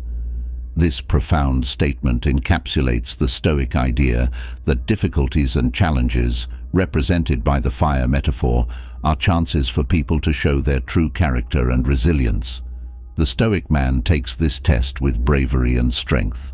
In the end, a Stoic man's way of dealing with pain is a balanced mix of endurance, joy, and growth. He lives up to the Stoic ideals of inner strength and tranquility by facing challenges with resilience, keeping a positive attitude, and seeing pain as a chance for growth. Through this attitude, the Stoic man rises above pain and handles life's challenges in the city with ease and a strong desire to grow as a person. Number seven, his happiness. Stoicism is a way of thinking about the world, and one of its main ideas is that happiness should be taken in balance and not in excess. This point of view is especially important when talking about how a Stoic guy interacts and dates women. With its focus on morality and self-mastery, Stoicism offers a complex view of pleasure, seeing it as something that can lead to overindulgence and addiction if not handled with care and control. The Stoic man thinks that pleasure is not necessarily bad, but the way we relate to pleasure that needs careful thought. He knows that letting joys rule or corrupt him would go against the Stoic principles of being logical and self-disciplined. That's why he enjoys his pleasures with a sense of balance and reason. The Stoic man loves pleasures, but always keeps in mind that they are temporary and could take his attention away from more important things. This way of thinking about happiness isn't about giving up things or being ascetic. It's about finding a healthy and careful way to enjoy life. The Stoic man avoids extravagance and indulgence by being careful and controlling his desire for pleasure. In this way, he makes sure that his pleasures don't take over his life, but instead stay as things he can enjoy without giving up his values or health. The path to unhappiness and chaos is viewed as one of craving and wanting joys. Thus, the Stoic man develops a mindset that doesn't care about joys. Despite his strong wants, he doesn't let them cloud his judgment or sway him from his morals. He makes sure that his pleasures serve him instead of controlling him by using them in a smart and good way. The Stoic philosophy also emphasizes the value of not wasting or abusing joys. The Stoic man cares more about the quality of his events than the number of them. He wants to keep and improve his joys not by overindulging in them, but by knowing how valuable they are and enjoying them with awareness. He can get real pleasure from his joys without falling into the trap of excess or hedonism with this method. The concept of self-regulation guides the Stoic man when he is with women. Including relationships, he doesn't look for pleasure in other people or things. Instead, he keeps his mind on controlling his own wants and joys so that they are in line with his stoic virtues. This ability to control himself shows how much he values personal ethics and freedom. The great Stoic philosopher Epictetus said, Freedom is not obtained by a full enjoyment of what is desired, but by controlling the desire. The Stoic man is an example of this knowledge. He finds freedom and happiness not in unrestrained excess, but in enjoying joys with care and discipline. In the end, a Stoic man's approach to happiness is based on a deep knowledge of how to balance fun and self-control. He supports the ideals of moderation and reason by enjoying joys in a controlled and thoughtful way. He can enjoy the good things in life without falling into the bad habits of excess and luxury because he takes a fair view of things. In this way, he lives his life according to the good principles of Stoicism. Eighth, his love in the light of Stoicism. A unique point of view is taken on the idea of love that stresses freedom, self-sufficiency, and logic. A Stoic man tackles love in a way that doesn't involve too much connection or dependence, led by the Stoicism ideals. This point of view is very important for understanding how Stoics deal with love relationships and emotional ties. For a Stoic man, love isn't about losing yourself in someone else or getting too close to them. Love with reason and freedom is what it's all about. He thinks that love is a feeling that should be guided by knowledge and reason. Because of this way of thinking about love, he can stay independent and self-sufficient even while in a relationship. He loves, but he doesn't let love cloud his judgment or bind him in a way that goes against his values or freedom. The Stoic man shows respect, honor, and unity by liking another person. He thinks of love as an exchange of care and respect, not as a way to hold on to or control someone. From this point of view, a relationship can be healthy and balanced as long as both people are free to be themselves and grow on their own. The Stoic man also doesn't ask for or expect love in a way that makes the connection hard. What he does instead is value and respect the love he gets, knowing that love is a gift and not a right to be claimed. This way of doing things makes him more grateful and aware of his relationships, which improves the quality and depth of his emotional ties. It's important to note that the Stoic man doesn't feel the need to constantly show his love through words alone. He thinks that actions and behaviors that show care, understanding and support are signs of true love. His love is shown by the way he treats his partner and the people he interacts with every day. The Stoic emperor and philosopher Marcus Aurelius said, The best way to avenge yourself is not to become like the wrongdoer, this quote reflects the Stoic belief in maintaining virtue and character, even in the face of difficulties or negative influences. When talking about love, it means that the Stoic man stays true to his values and doesn't let his feelings make him do things that are against them. Being Stoic means that a man's approach to love is a mix between deep feeling and logical knowledge. He loves deeply and honestly, but he is always aware of how important it is to keep his freedom, morals, and good sense. This balanced view of love helps him build important relationships while staying true to the basic ideas of Stoicism. This leads to a happier and more peaceful life in the end. Imagine being able to find inner peace and happiness no matter what was going on around you in a world that is always trying to tell us how we should feel, think and act. What you said is not only strong, it's also new. It's not about taking charge of the world, but of our own minds, which is much more important and much easier to do. Stoicism teaches us resilience, thanks, and how to live a happy life, but this isn't just about past, it's about you and your life now. In today's world, there is a lot of chaos, but you can still keep your cool. It's about being happy in the little things and staying calm when things get rough. You can turn your dreaded mornings into a powerful starting point for a day full of purpose and joy.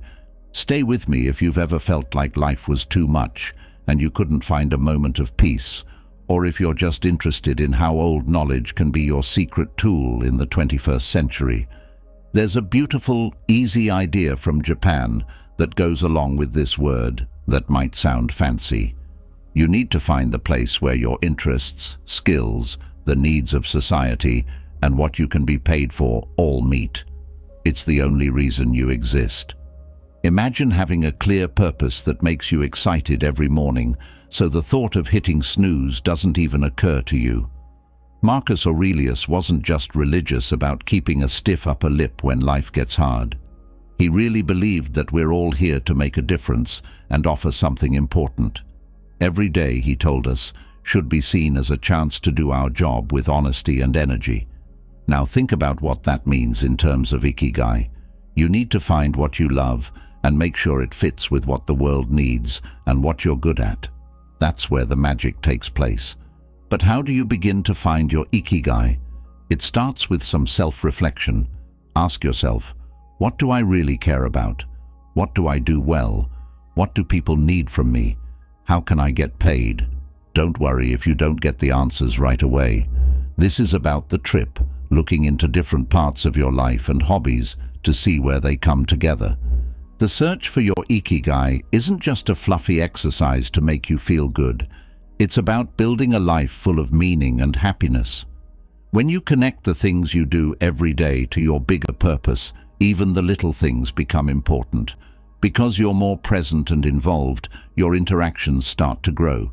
It's easy for you to be creative when you're doing what you love, and happiness in general well, it turns into more of a regular friend than a short-term visitor.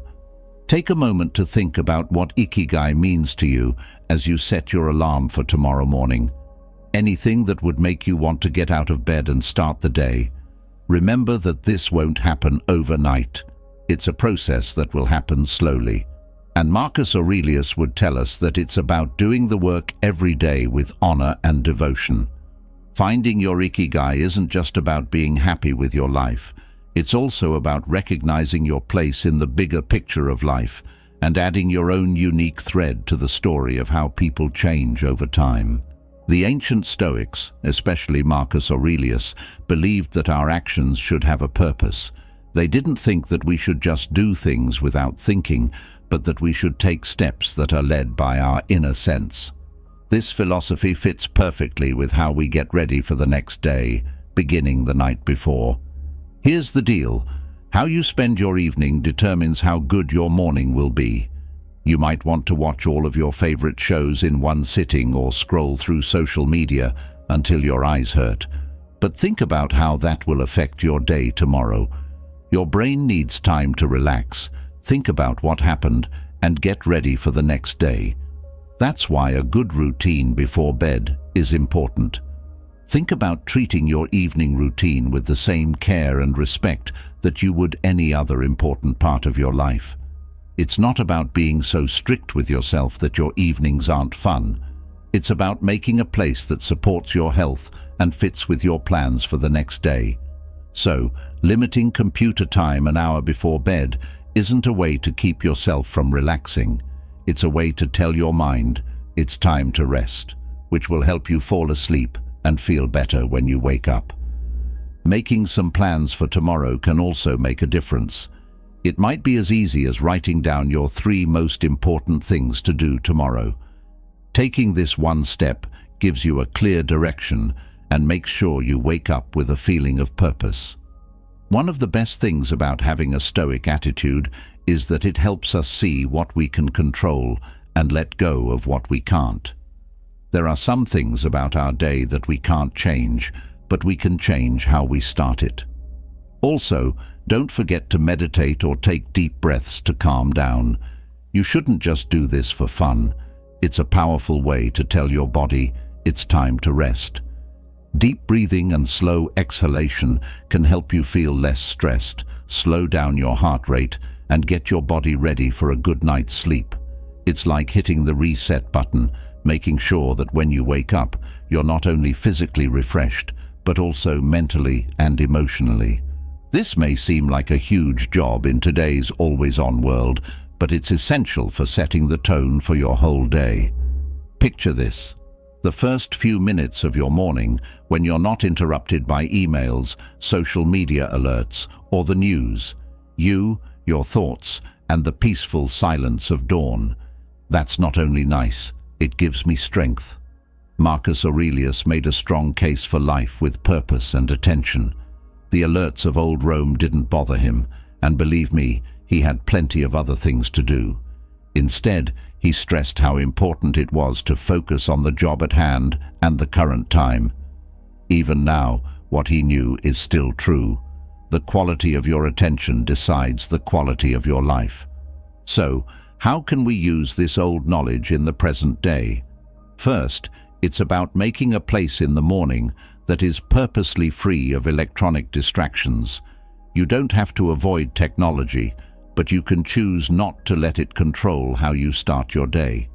It's tempting to roll over and check your phone right away, but that puts you right into a reactive state where you have to deal with the problems and expectations of the outside world. Give yourself the gift of a calm start instead.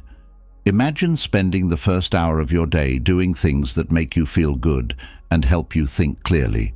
It could be reading, relaxing, writing in a diary, or just sitting with a coffee and looking out the window.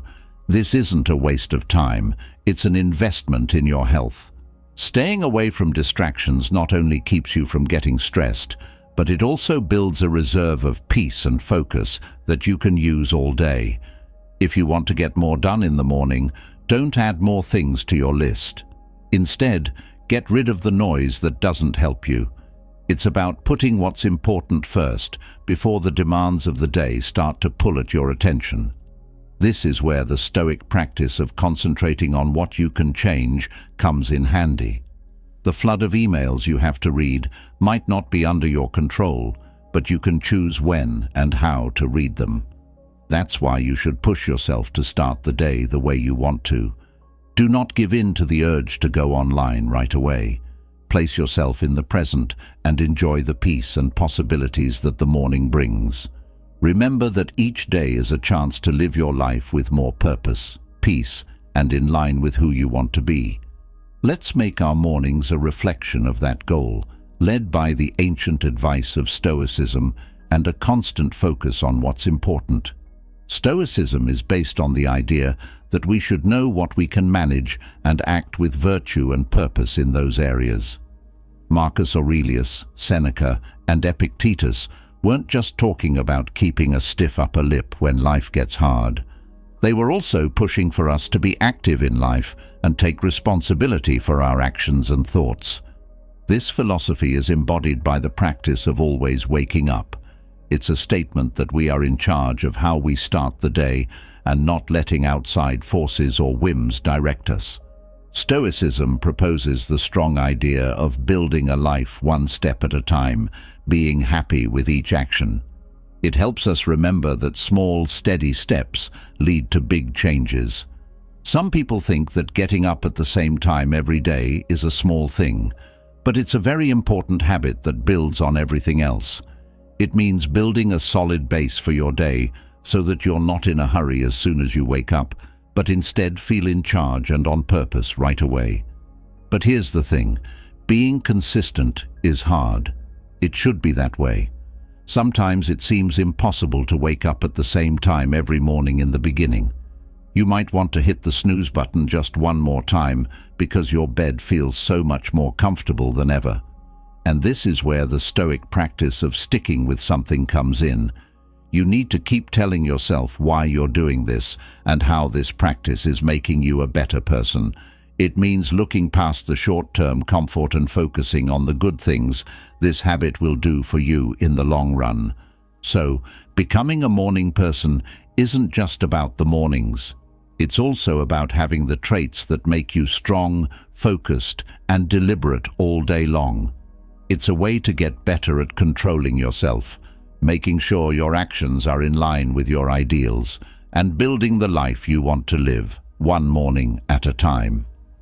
How then can we make uniformity work for us? Set a clear goal for the next day the night before. Remind yourself of the reasons you want to get up at a certain time. Do you want to have more quiet time in the morning to read or think? Do you want to work out or just start your day in a more calm and collected way? Then, make a setting that helps you keep up this habit. You could go to bed a little earlier to make sure you get enough sleep, or you could leave your curtains a little open so that natural light wakes you up slowly. When things get tough, remember that Stoics believed in the strength of our own will and how important it is to follow our values. Getting up at the time you choose every morning is more than just the start of the day. It's a promise to yourself, your growth, and living a life with meaning and purpose.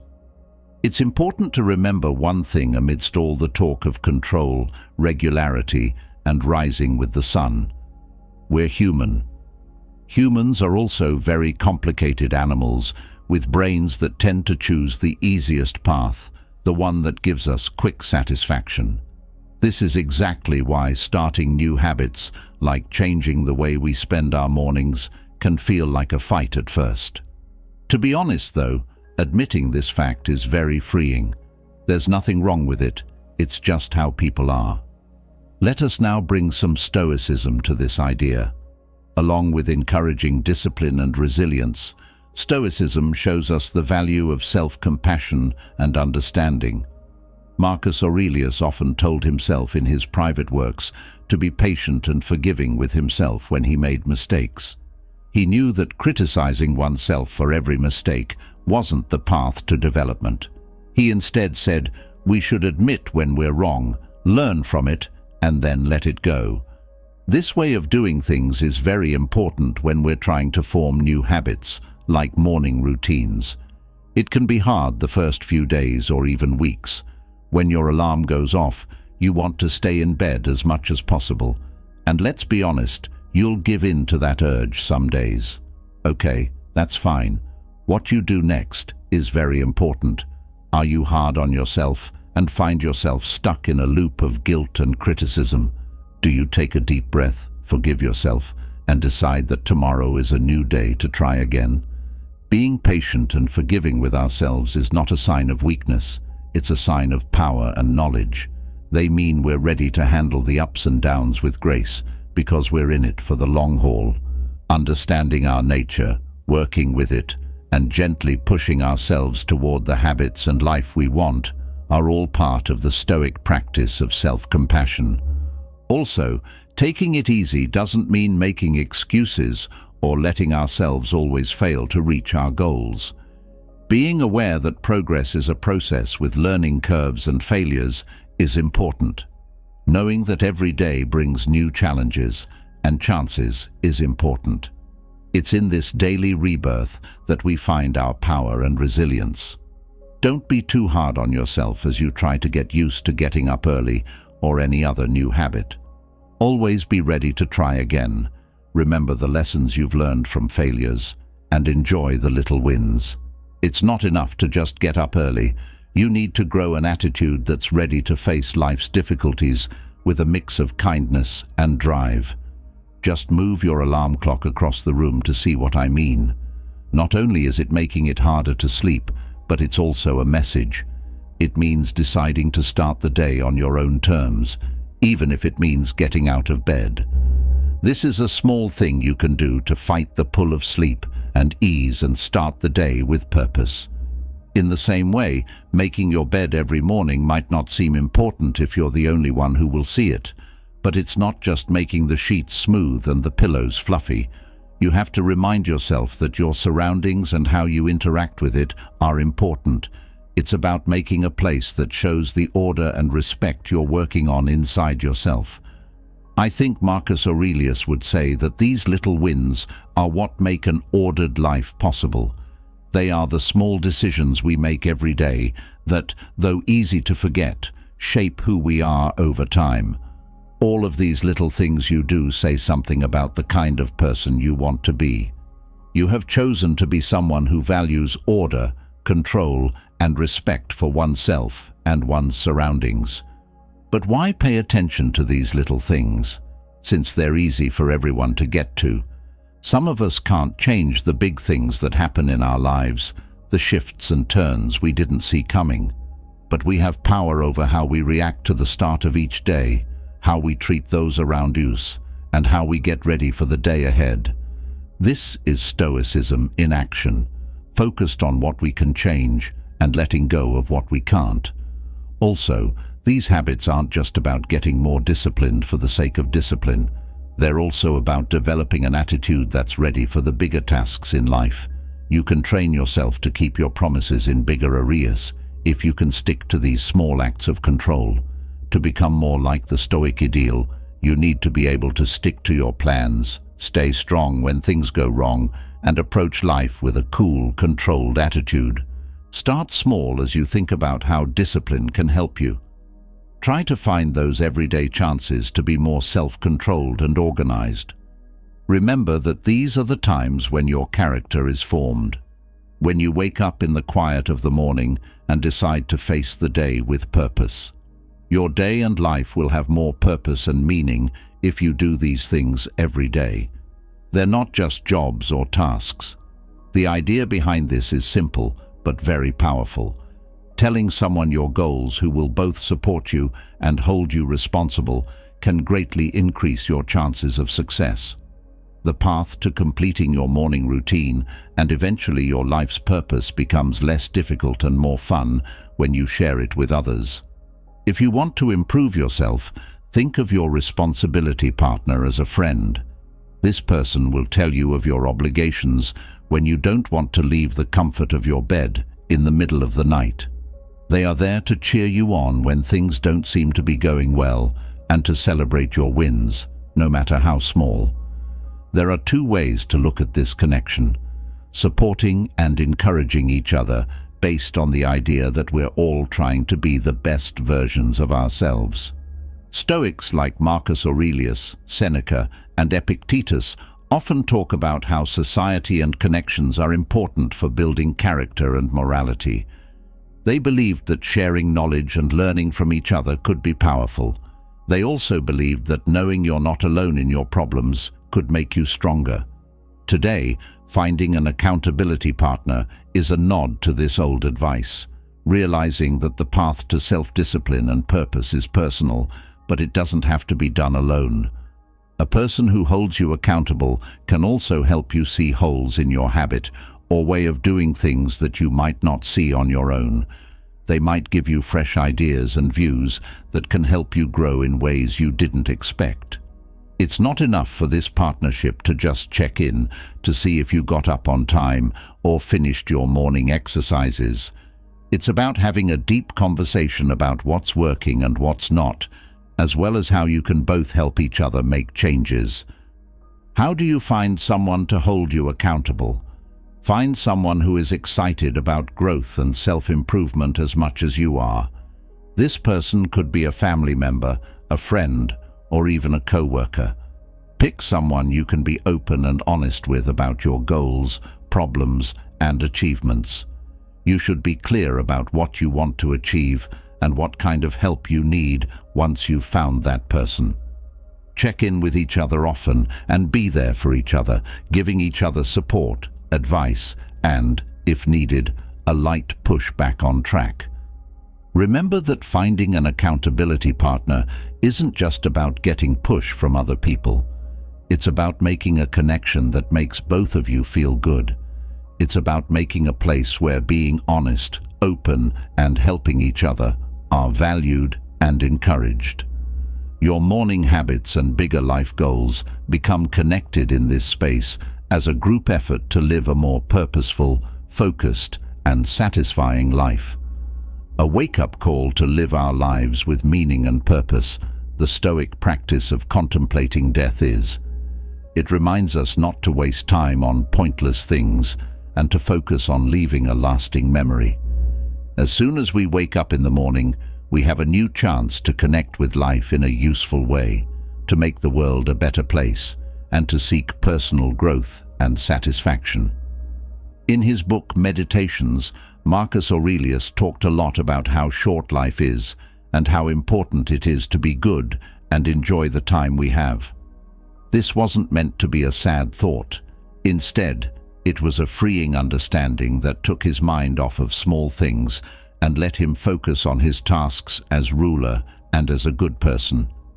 The idea is that if we keep the end in mind, we're more likely to live our lives with purpose and focus, putting the people and things that really matter first. When we think about death during our morning routines, it changes how we start each day. We were given this day, which isn't promised to anyone else. It's not just another day. Realizing this can have a big effect on how we spend our time, the things we do, the people we care about, and the memory we want to leave behind. It tells us to love deeply, live fully, and leave the world a little better than we found it. This stoic practice also helps us keep things in perspective when life throws us problems and setbacks. Things that bother us and get in the way every day lose a lot of their power over us when we remember that time is limited. We become stronger, more focused on our long-term goals, and less likely to let short-term problems get in the way of our progress. It makes us more appreciative of the present and encourages us to make the most of it. How can we use this stoic concept in our everyday lives? Every morning, it starts with a moment of thought. Think of the day ahead as a blank slate, a chance to make your life and the lives of those around you better. Ask yourself, would I be proud of how I'm spending my last day? This doesn't mean having a spiritual crisis all the time. Instead, it means learning to deeply value the present moment and the chance to live, learn, and love. When we adopt the Stoic practice of remembering death, we are not thinking about the end, but rather about the present and how we choose to live each day. It's a strong way to fight laziness and a lesson to live our lives with purpose, meaning, and thanks. As we wake up each day, let's remember that it's a gift and a chance to make our lives meaningful and in line with our core values. This is what it means to live stoically and make the most of our short time here to leave a lasting memory. People often tell us to think about the good things in our lives and picture ourselves being successful and happy. But the Stoics, with their deep knowledge, offer a different point of view that is both useful and very powerful, a tool for resilience, planning, and, eventually, better understanding of the moment. Negative vision is not about being negative. The main idea behind this practice is to think about the problems, losses, or challenges you might face in the future. This could be something as small as missing the bus or having a wet day, or it could be something much worse, like losing a job or a loved one. The purpose is to mentally practice how you would handle such events should they occur, not to dwell on these scenarios in a way that causes fear or worry. When you visualize, you mentally and emotionally get ready. This makes you less likely to get off track when life's ups and downs happen. Marcus Aurelius, Seneca, and Epictetus were all of the opinion that we could develop a greater sense of peace and resilience by thinking about how transient everything is. This practice helps us pay attention to the things we can change, like how we react, how we think, and what we do. Making negative visualizing a part of your morning habit can change how you start your day. You don't have to go out the door without thinking about the problems that might come up. You're ready to face them. I like to think of it as mental exercise that helps you build resilience so that when life throws you a surprise, you're not caught off guard. You have already practiced this moment in your mind, so you can use the plans you made to get through it. This exercise also has a beautiful, if slightly strange, effect. It makes us more grateful for the present moment. When we imagine not having some of the things we take for granted, we value them more when we return to the real world. We should be thankful for all the good things in our lives right now. We shouldn't live in fear of losing something. Instead, we should use the thought of it to appreciate the present moment more. How then can we use negative vision in a good, healthy way? Take a few minutes in the morning to think about the problems you might face that day or the bigger picture of what the future might hold. Think about how you should react, what skills you should use, what lessons you could learn, and how the experience could help you grow. Following the image, let go and go about your day, feeling more prepared and grateful for the things that are happening to you right now.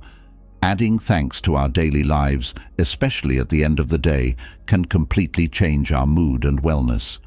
Keeping a gratitude book is a very easy but very powerful way to develop this attitude of thankfulness. It means taking a moment to think about the day and write down a few things we're thankful for before going to sleep. Something like a nice act from a stranger, a stunning sunset, finishing a hard job, or just the warmth of our bed waiting for us at the end of a long day could be this.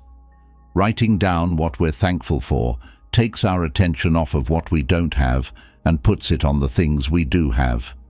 Focusing on what we have rather than what we don't, on what is within our power rather than what isn't, is a practice that is perfectly in line with Stoic beliefs. This change in viewpoint not only helps us sleep well at night, without the stress of unmet wants or leftover anger, but it also gets our minds ready to start the next day with purpose and gratitude. But why be thankful at the end of the day? Because it helps us end the day on a positive note, no matter what problems we may have had all day. It helps us remember the good things in our lives, find peace even when things are going badly, and keep a mindset that sees growth and happiness in every situation. Expressing thanks every night has a domino effect that changes not only how we sleep, but also how we wake up and handle our mornings. When we wake up, our first thoughts aren't grumbling about the alarm clock, but about what the day will bring and what new things we might find to be thankful for. Also, this practice of being grateful for our lives goes beyond our own lives. It makes our relationships better because we become more aware of how valuable the people around us are and more vocal about how grateful we are to have them in our lives. It makes us feel more connected to the world because we notice and appreciate the beauty and wonder around us more, even in the most ordinary things. As we think about the many ways to make our mornings better, and, by extension, our lives better, let's not forget how powerful it is to end the day with thanks. The Stoic desire of a good life is reflected in this practice, a life marked not by accomplishments or material things, but by inner peace, happiness, and a deep respect for the present moment. As we come to the end of this trip through the ten Stoicism-inspired strategies, it is clear that each step and practice is more than just a job. It is a path to developing a life of purpose, resilience, and deep gratitude. Adopting these habits won't make every day great, but they will make you stronger, more happy, and more able to handle anything that comes your way. It's not just a feeling to believe in yourself, it's a skill and a way of thinking about life. One clear fact about getting to know yourself is that how much you get done depends on how sure you are of yourself. If you don't believe in yourself, your goals and dreams can be taken away. Think about how often fear and doubt stop people with natural talent who are ready to do great things. We want to improve ourselves and find new ways to do that. That being said, thanks for watching this movie. Through Stoicism, you are already on the path to improving your life. First, let's talk about what it means to have confidence in yourself. It doesn't just happen. You have to get to know and accept yourself first. In Stoic thought, self-confidence comes from being aware of our good and bad traits and making the most of them. People have been telling us for a long time that real confidence comes from within, not from other people liking or praising us. Epictetus, a famous Stoic philosopher, advised us to focus on what we can change, such as our attitudes, thoughts and deeds, rather than worrying about things we cannot change. We are stronger and better able to handle hard times when we think this way. Being honest is another important part of having self-confidence. Being honest about who you are, what you stand for, and what you want is important.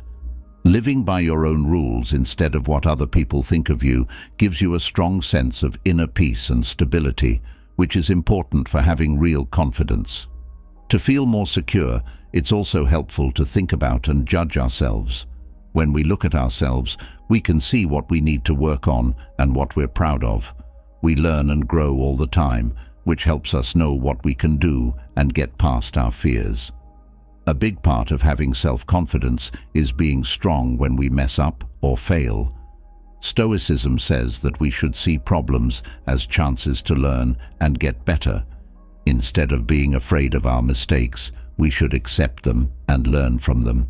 This makes us stronger and better prepared for what comes next. Last but not least, doing things boosts self-confidence. The Stoics said that it's not enough to think about ideas. You have to put them into practice.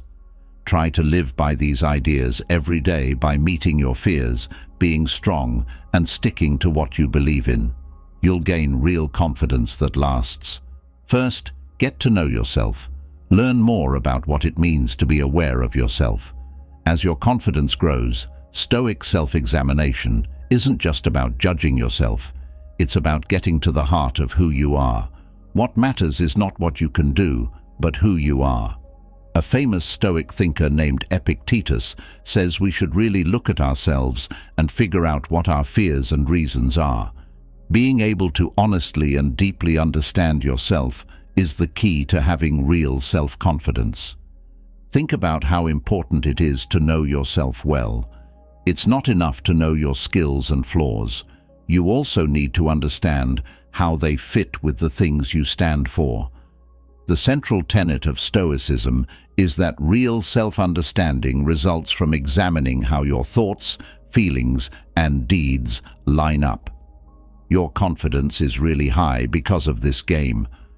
What does this have to do with our everyday lives? Start by thinking about what you do first when things get tough.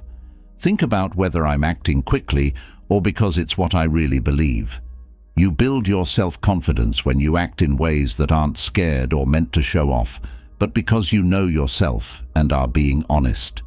Think before you act every day. Take a moment to ask yourself, is this really who I am and what I believe? You are being true to yourself and building your confidence every time you make a choice after giving it some thought. Remember that the first step to building confidence is to understand yourself. Being honest with yourself is the most important thing. It takes time and patience. You'll have to face some hard facts along the way, but you'll also learn new strengths and skills. You need to know that it's okay to not know everything and to feel weak sometimes as you learn about yourself. It's important for your growth as a person to be okay with not knowing everything and to know your boundaries. You are free to try new things when you accept yourself in this way. These new experiences can change how you see the world and yourself. Knowing how strong your thoughts and views are is another important part of getting to know yourself. What you think about yourself and your skills, how you talk to yourself, and how you understand things that happen all have a big impact on your confidence. You can change how you think about yourself by talking to yourself more positively and asking yourself why you have worries about yourself.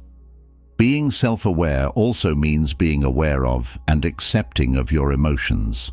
What makes you feel good and what scares you can tell you a lot. Listen to your emotions and try to figure out why you have them. This will help you figure out what drives you and what you really want. Being honest, staying true to your ideals, and always being yourself come from knowing yourself. It's not always easy to be yourself, especially when other people expect you to act a certain way. But being yourself makes you more confident and helps you build better, more honest relationships with other people. To sum up, the best way to build confidence is to know yourself well.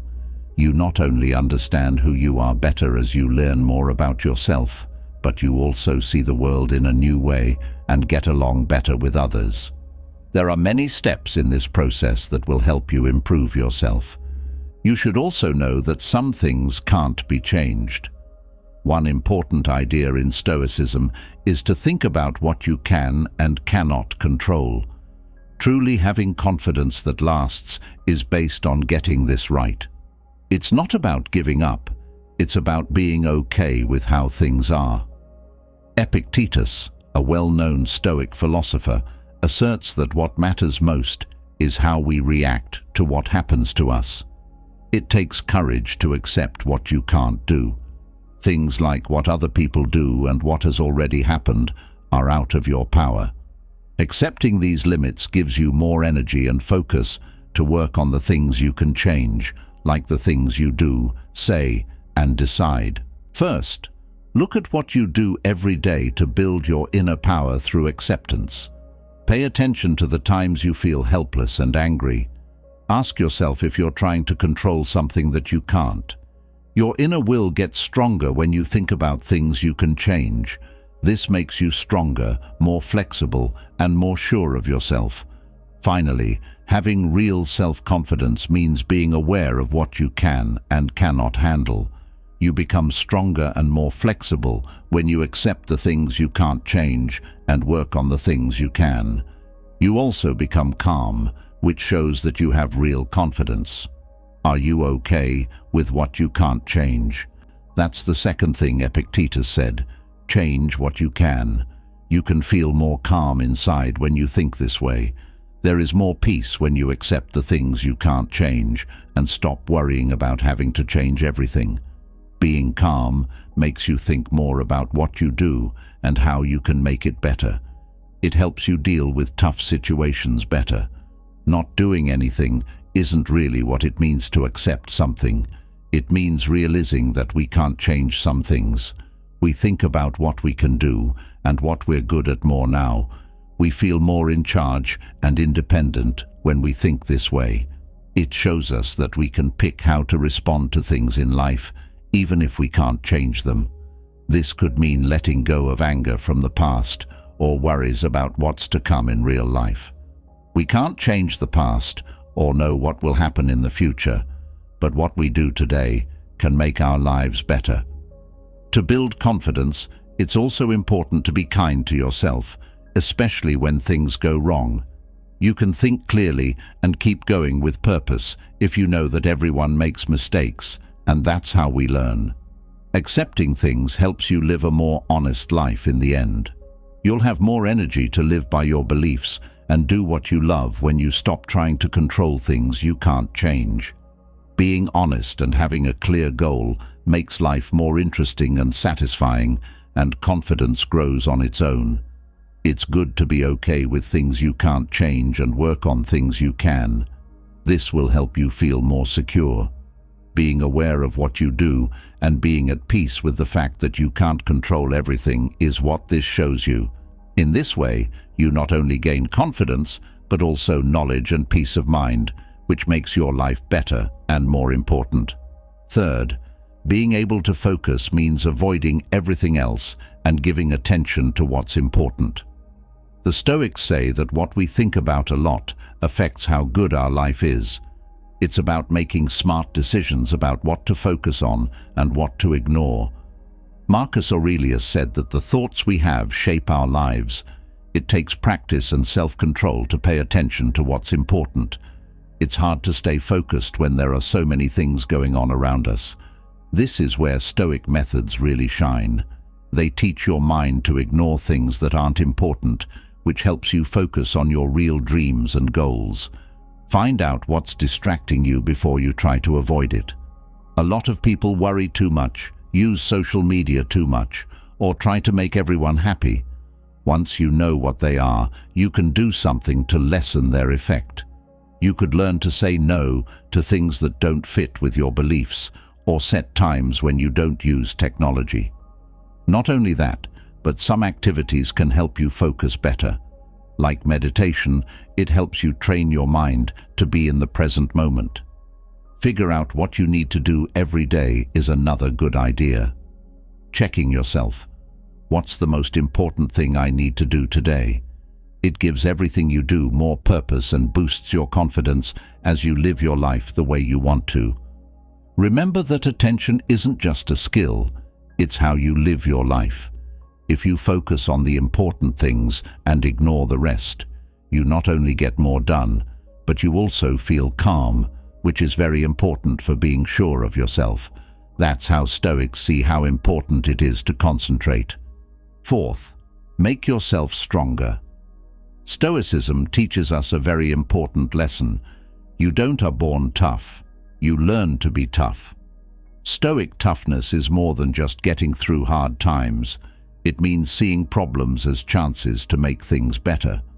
Not what happens to you, but how you deal with it. That really shows who you are, said Seneca. In Stoicism, it's important to learn from your mistakes. Every issue or tough situation has a lesson hidden inside it. When things go wrong, don't feel bad. Instead, ask yourself, what can this teach me? When you think about it this way, every mistake you make is a chance to get better and become stronger. Being robust actually entails developing stoic toughness when things are difficult. Trouble doesn't scare you or make you run away. You face it head on when you face your fears and get through them, you get stronger and more sure of yourself. Remember that being tough isn't just about getting through tough times. It's also about finding the good in them. Every day can look different when you use resilience. You might have to do something you've been putting off or deal with something big, like getting over a loss. Think like a stoic. How you handle things is more important than what occasions you face. When bad things happen, you should be sure of yourself and know that every bad thing is an opportunity to get better and stronger. This is what it means to be stoic, to turn problems and hard times into strengths and ways to move forward. If you stay strong, your confidence will grow even more. Accepting that life won't always be easy or fair is also part of being strong. It means knowing that we can get through hard times, it's not about giving up when we accept that hard times are a part of life and that we're strong enough to deal with them. Think about the long term instead of just worrying about today's problems if you want to be tough like a stoic. You have to think about the future and see how these hard times can help you get better in the long run. Another great way to get stronger is to be thankful. Thoughts about what you have instead of what you don't have can help you stay upbeat even when things are tough. Being thankful changes the way you see problems so that you see them as chances to learn and get better. Being tougher gets better when you get help from other people and are part of a group. During hard times, it's very helpful to be with people who care about and understand you. You feel better when you connect with other people, and they also tell you that you're not facing problems by yourself. Being tough as a Stoic is a promise to keep growing in the end. It means seeing every event, good or bad, as a chance to learn something new about yourself and the world around you. This way of thinking helps you enjoy the ups and downs of life, believing that you can handle and achieve no matter what. In conclusion, being stoic is a great way to deal with life's challenges. When things get tough, we should face them, learn from them, and use them to get stronger and more sure of ourselves. Being strong and tough helps us not only get through hard times, but also get better, stronger, and more sure of ourselves. Fifth point, be more humble. It's easy to act too proud when you're trying to be sure of yourself. But having confidence doesn't mean being cocky. One of the best traits a person can have is humility, which is very important in Stoic thought. Epictetus said, if you think you know everything, you can't learn anything new. Being humble helps you learn, get better, and connect with other people in a real way. When you choose between humility and vanity, you're not picking between weakness and strength. You're choosing to understand your own limits and value the knowledge and worth of others. A humble person knows that they can always learn something new and get better, no matter how smart or skilled they are. Epictetus says that being humble doesn't mean putting yourself down. It means having a good view of yourself and realizing that you're not the most important person in the world. It can be hard to become more humble every day, especially when people care more about how things look than what they are. Listen more and talk less. Be open to what other people have to say and know that you don't have to be right all the time. When you do well, let other people know. Remember that everyone you meet has been through things you haven't. When you become more humble, your confidence grows steadily and over time. People respect and look up to you more because you're more open, flexible and interesting. Being truly humble not only makes you a better person, it also helps you connect with other people better. Be humble. That's the stoic way to real deep confidence. To be humble, you have to be able to see and praise other people's wins and good points. This shows them that we value them and helps us see how each person brings something unique and important to the table. This helps us value how different people are and how their success doesn't make someone else's less important. When we are humble, we recognize that we don't know everything and that we may need help from people who do. It means you're strong, not weak. We can improve our relationships and grow as people when we are willing to learn from each other and work together. Being humble also means taking a moment to consider what we did, admitting when we were wrong and trying to make things right. To improve yourself, it's very important. When we know our skills and flaws, we can build real confidence with this kind of honest self-check. Being grateful for what we have, our friends and family, and the chances we get is part of being humble. It helps us pay attention to what's important. Being thankful keeps us connected to the world and to each other, making us feel like we're a part of something bigger. To sum up, one of the most important Stoic traits for building strong, long-lasting confidence is humility to always learn from other people and our surroundings, to treat people with respect and honesty, and to value ourselves without thinking too highly of ourselves are all good things. Being more humble makes us better people and the world a better place to live by showing more care, respect and connection. Sixth point, know what you believe and live by it. Real, Long-lasting confidence comes from living in a way that supports the things you believe in. You need to live by your beliefs every day, not just know them. Stoics believe it is very important to be honest and true to oneself. People must act on their beliefs in order to make good decisions and shape their lives. As Epictetus said, talking about doing the right thing isn't enough. You have to actually do it. Believe in the things that matter most to you, like being honest, loyal, brave, or kind. Figure out what's most important to you and follow those rules. When you live with integrity, what you say and do is in line with what you believe and value.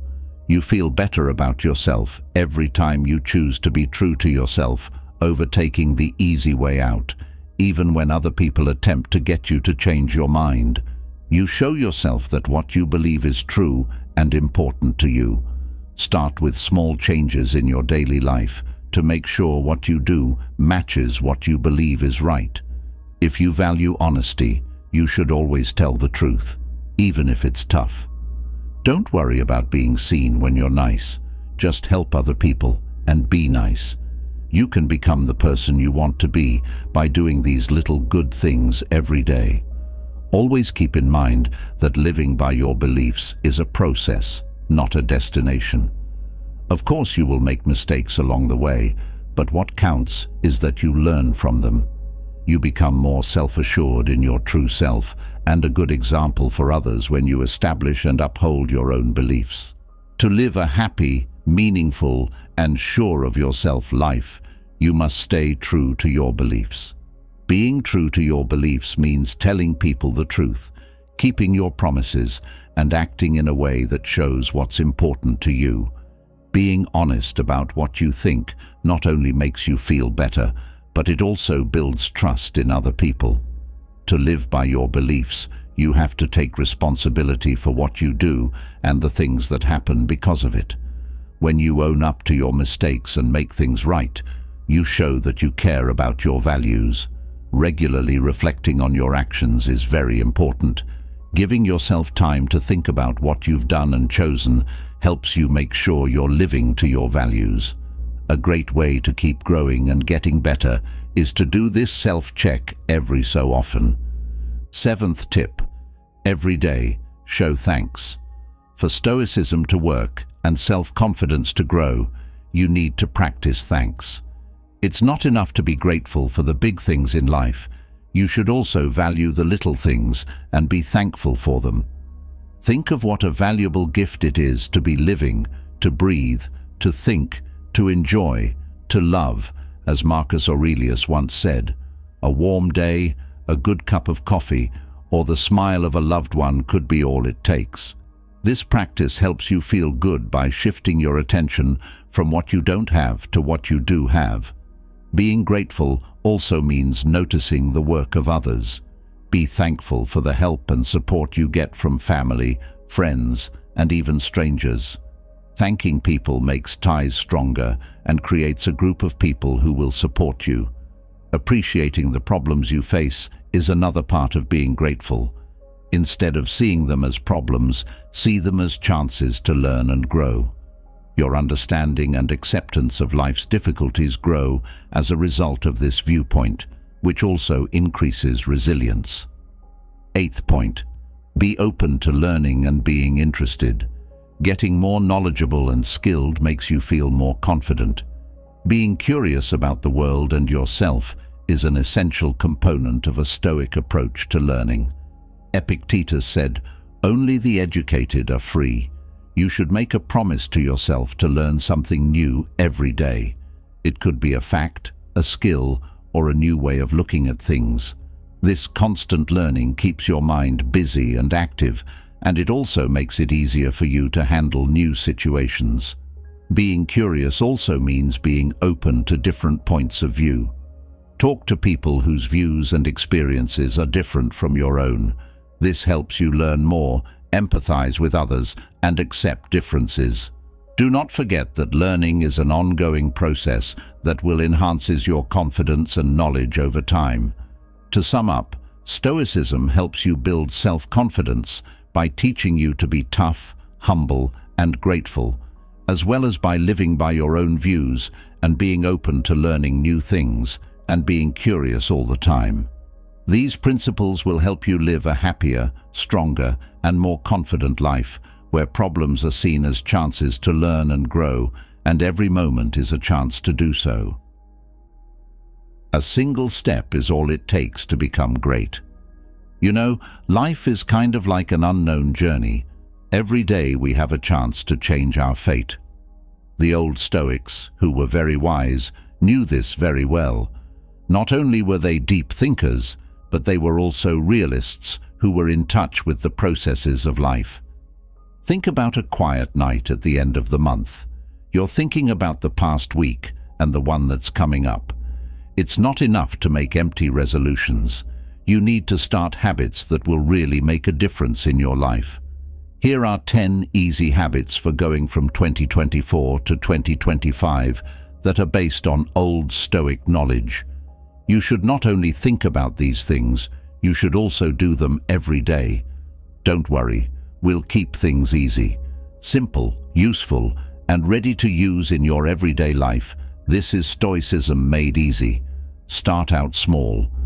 George Washington, whose determination helped build a country, loved the simple Scottish phrase, many mickles make a muckle. It says that the big things are made up of the little things. Zeno, the father of Stoicism, was also right when he said, well-being is realized by small steps, but it's no small thing. He knew that change doesn't happen all at once, but in small, careful steps. You can think of it like planting seeds. Each little seed has the ability to grow into something beautiful. What does this mean for us? Say you want to read more. Don't make a huge goal. Instead, Commit to writing one page every day. As you put together the small pieces, they all fit together to make the big picture. Don't forget that a walk starts with one step and a habit with one deed. Atomic Habits by James Clear beautifully expresses this feeling. The most important thing about atomic habits is not just that they can explode, but also that they are fundamental. Even though it is the smallest measure, an atom has a lot of power. In the same way, our tiny habits are what make big changes possible.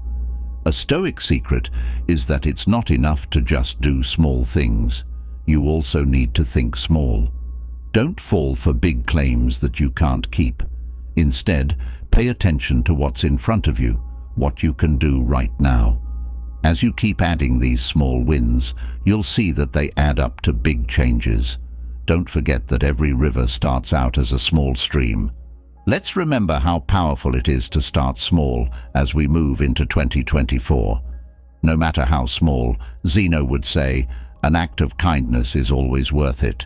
Stop letting your worry take over your life. We all have to deal with a storm that doesn't come from the sky, but from inside us. Worry. There's a ghost that follows us and talks about what might happen or what could go wrong. But here's a stoic truth. You're not a doll, and stress shouldn't be the one who moves you around. Marcus Aurelius, who ruled an empire, knew this when he relaxed and thought. He wrote, Today I got away from stress. Or no, I threw it away because it was inside me. That's a powerful discovery. It's not the plane or the airport that's rough. It's us. How do we get off of this chain that we can't see? First, take responsibility for how you feel. Know that your thoughts, not the world around you, cause your worry. It's like a smoke that obscures your view and elevates small issues to major issues. Get rid of that fog and see things as they really are, not how your fears make you see them. This is where being aware comes in handy. Ask yourself, is this worry caused by what's happening or what I fear might happen? Take a moment to calm down. Most of the time, it will be the second one. Lastly, let's bust a myth. Worry is not a way to avoid problems before they happen. In fact, the reverse is true. It stops you from moving. It doesn't prepare you. Going nowhere is like sitting in a moving chair. You move around a lot, but don't get anywhere. Let's make a promise to free ourselves from the chains of worry as we move into the new year. Let's go through life with a calm heart and a clear head. You have power over your mind, not outside events. Aurelius says, if you understand this, you will be strong. Don't forget that the only storm you have to face is the one inside you. Set up a plan. Think of today as a blank slate. Without a plan, it's just empty room that will be filled in any way that seems right. It's a work in progress without a plan, though. The power of a schedule is not in being strict, but in giving you a way to focus your energy in the best way. Seneca, a Stoic philosopher whose ideas have been around for hundreds of years, said, Life without a design is erratic. He knew that a well-planned day is a good day. How then do you make this routine? You shouldn't try to copy someone else's plan.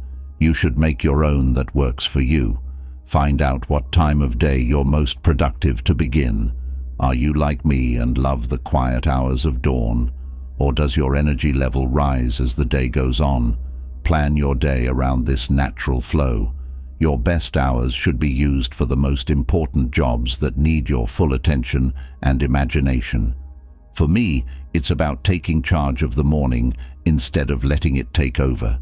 Before everyone else wakes up, I start my day with things that make me feel good, like going for a walk, taking some time to think, or working on an artistic project. But don't forget that a pattern isn't just about work. It's also about finding the right balance. Develop habits that are good for your mind, body and spirit. It could be reading, working out, or spending time with people you care about. And most importantly, do what you normally do.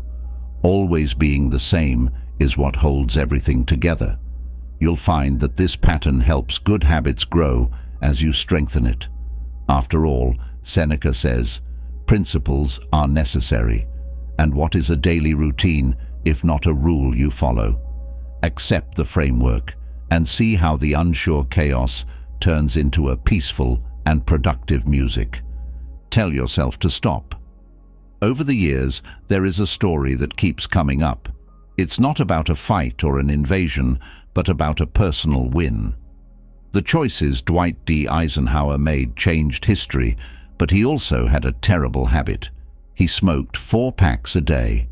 His doctor's words were a clear warning, stop or bad things will happen. What did Eisenhower say? He told himself to stop. After 40 years, he quit all of a sudden. It shows a very important Stoic principle. No man is free who is not master of himself. As Epictetus said, this story isn't just about giving up smoking. It's about giving up any vice that holds you back. We all have problems, whether they are bad habits, putting things off, or negative thoughts. Telling yourself to stop is the key to winning. It's about taking charge of your urges instead of having them run your life.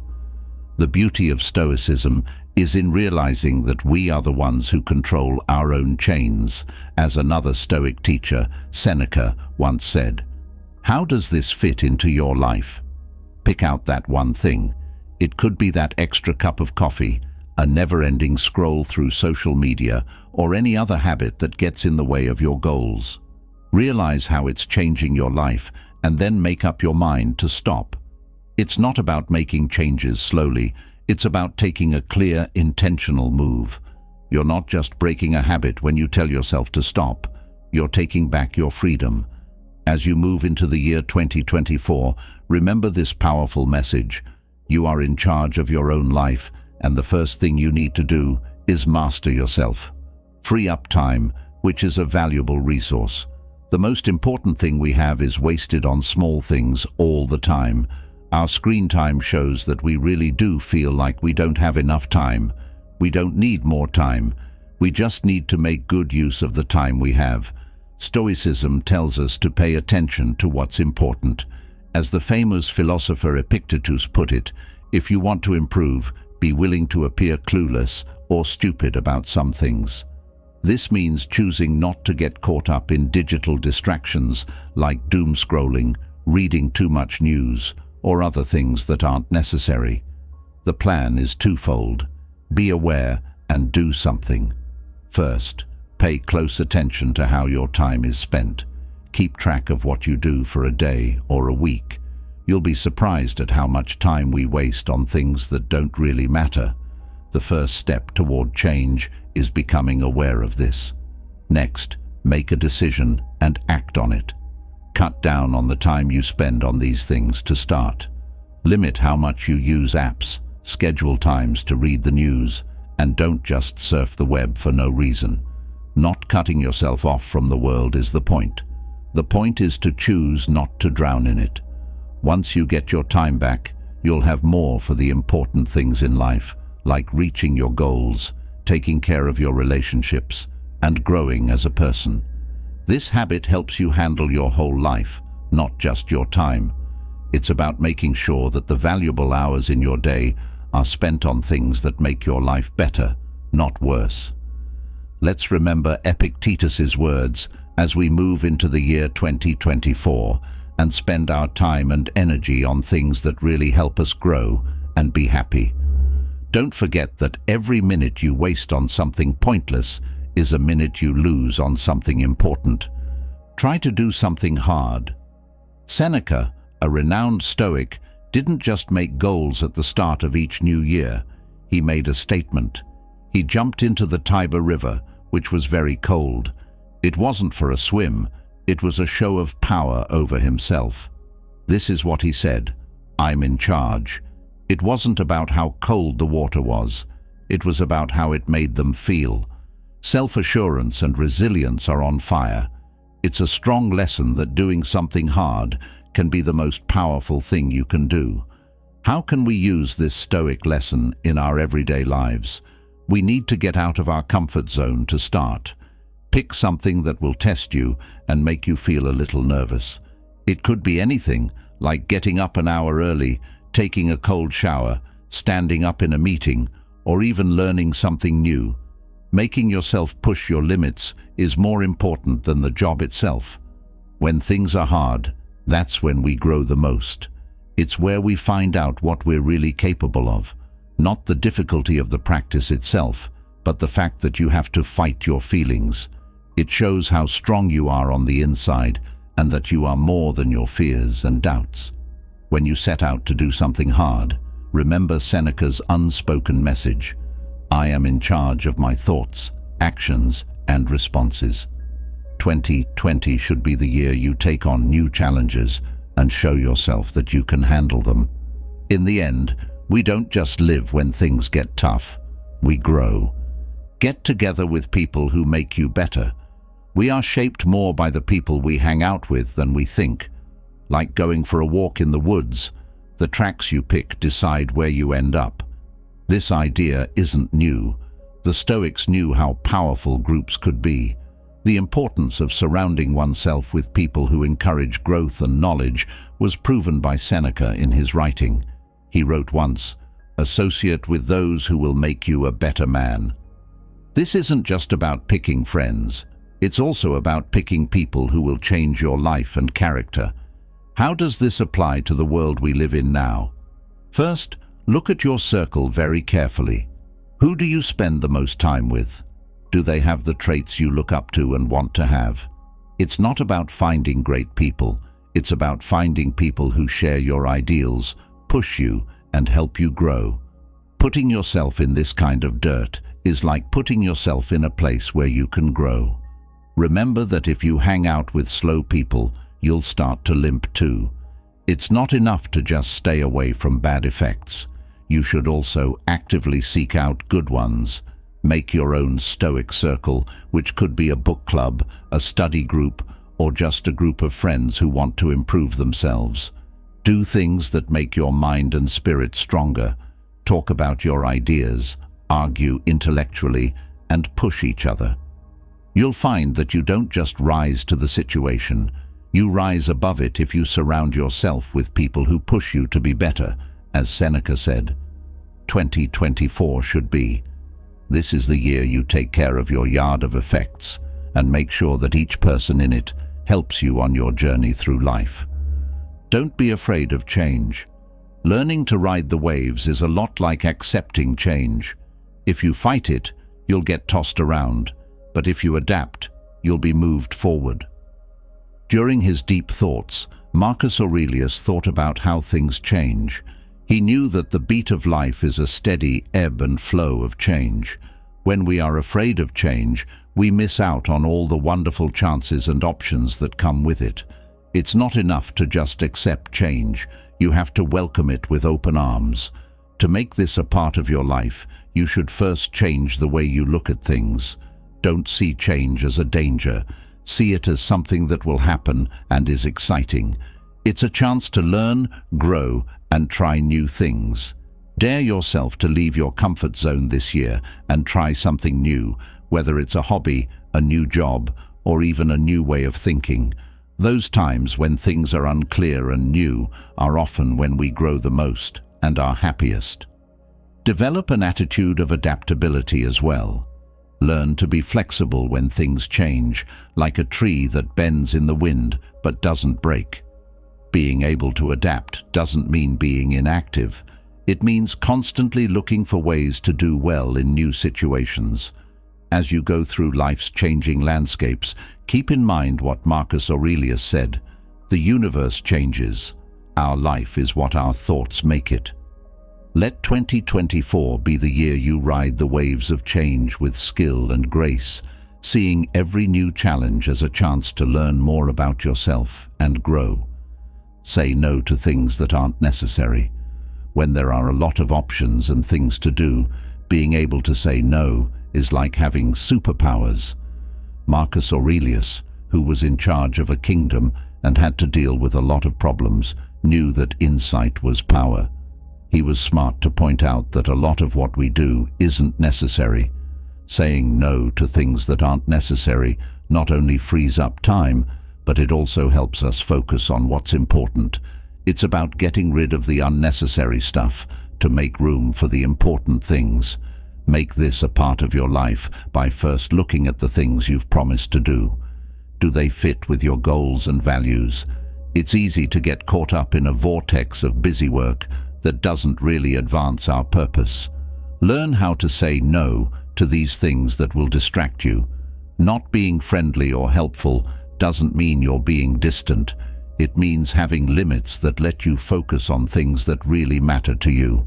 Remember that whenever you say yes to a small thing, you're really saying no to something big. Turn this around.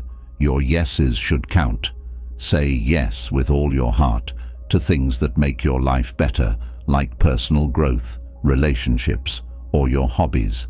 This chosen yes is more than just an answer. It's a promise to do great work in the areas that really count. As you start the new year, only say yes to things that will help you become the person you want to be. Get back in time. Accepting our flaws and mistakes is part of accepting our humanity. Marcus Aurelius, a leader who had to deal with the difficulties of life and power, knew that people would fail. He once thought about how important it is to not only get back up when we fall, but also to see the beauty in the fact that we can. We need to understand that tripping is a part of our journey and not a break from it. Adopting an attitude of forgiveness and resilience is what this entails practically. Do not see it as a failure if you fail to stick to your diet, work out, or other goals. Think of it as an important part of the growth process instead. The important thing is how you handle these obstacles. Do you scold yourself, or do you admit you made a mistake and gently guide yourself back on track? Choose the second option. It's about making self-compassion and determination a habit. You build the habit of resilience every time you go back to your path. Feel proud that you can get back to your beat, no matter how many times you lose it. Remember that it's not about being perfect, it's about making progress and always going back to what's important. The important thing is not what happens to you, but how you handle it, as Epictetus said. As we draw this exploration to a close, remember that the journey to infuse your life with deeper meaning through Stoicism is both profound and rewarding. It's a path that invites reflection, demands resilience, and fosters a harmonious balance between the inner self and the external world. The Stoic principles we've delved into offer more than just philosophical musings. They provide practical tools for navigating life's challenges with grace and wisdom. Embracing Stoicism isn't about detaching from the world or suppressing emotions. Instead, it's about achieving clarity of thought, cultivating inner peace, and living in alignment with your core values. By applying these age-old teachings to your modern life, you can discover a wellspring of strength you may not have known you possessed. Remember, a meaningful life is not handed to us. We forge it through our actions, decisions, and reflections. As you continue on your journey, keep the teachings of Stoicism close to your heart. Let them guide you through turbulent times, illuminate your choices, and enrich your everyday experiences. Thank you for taking this journey with us. May the path ahead be enlightening, enriching, and profoundly meaningful.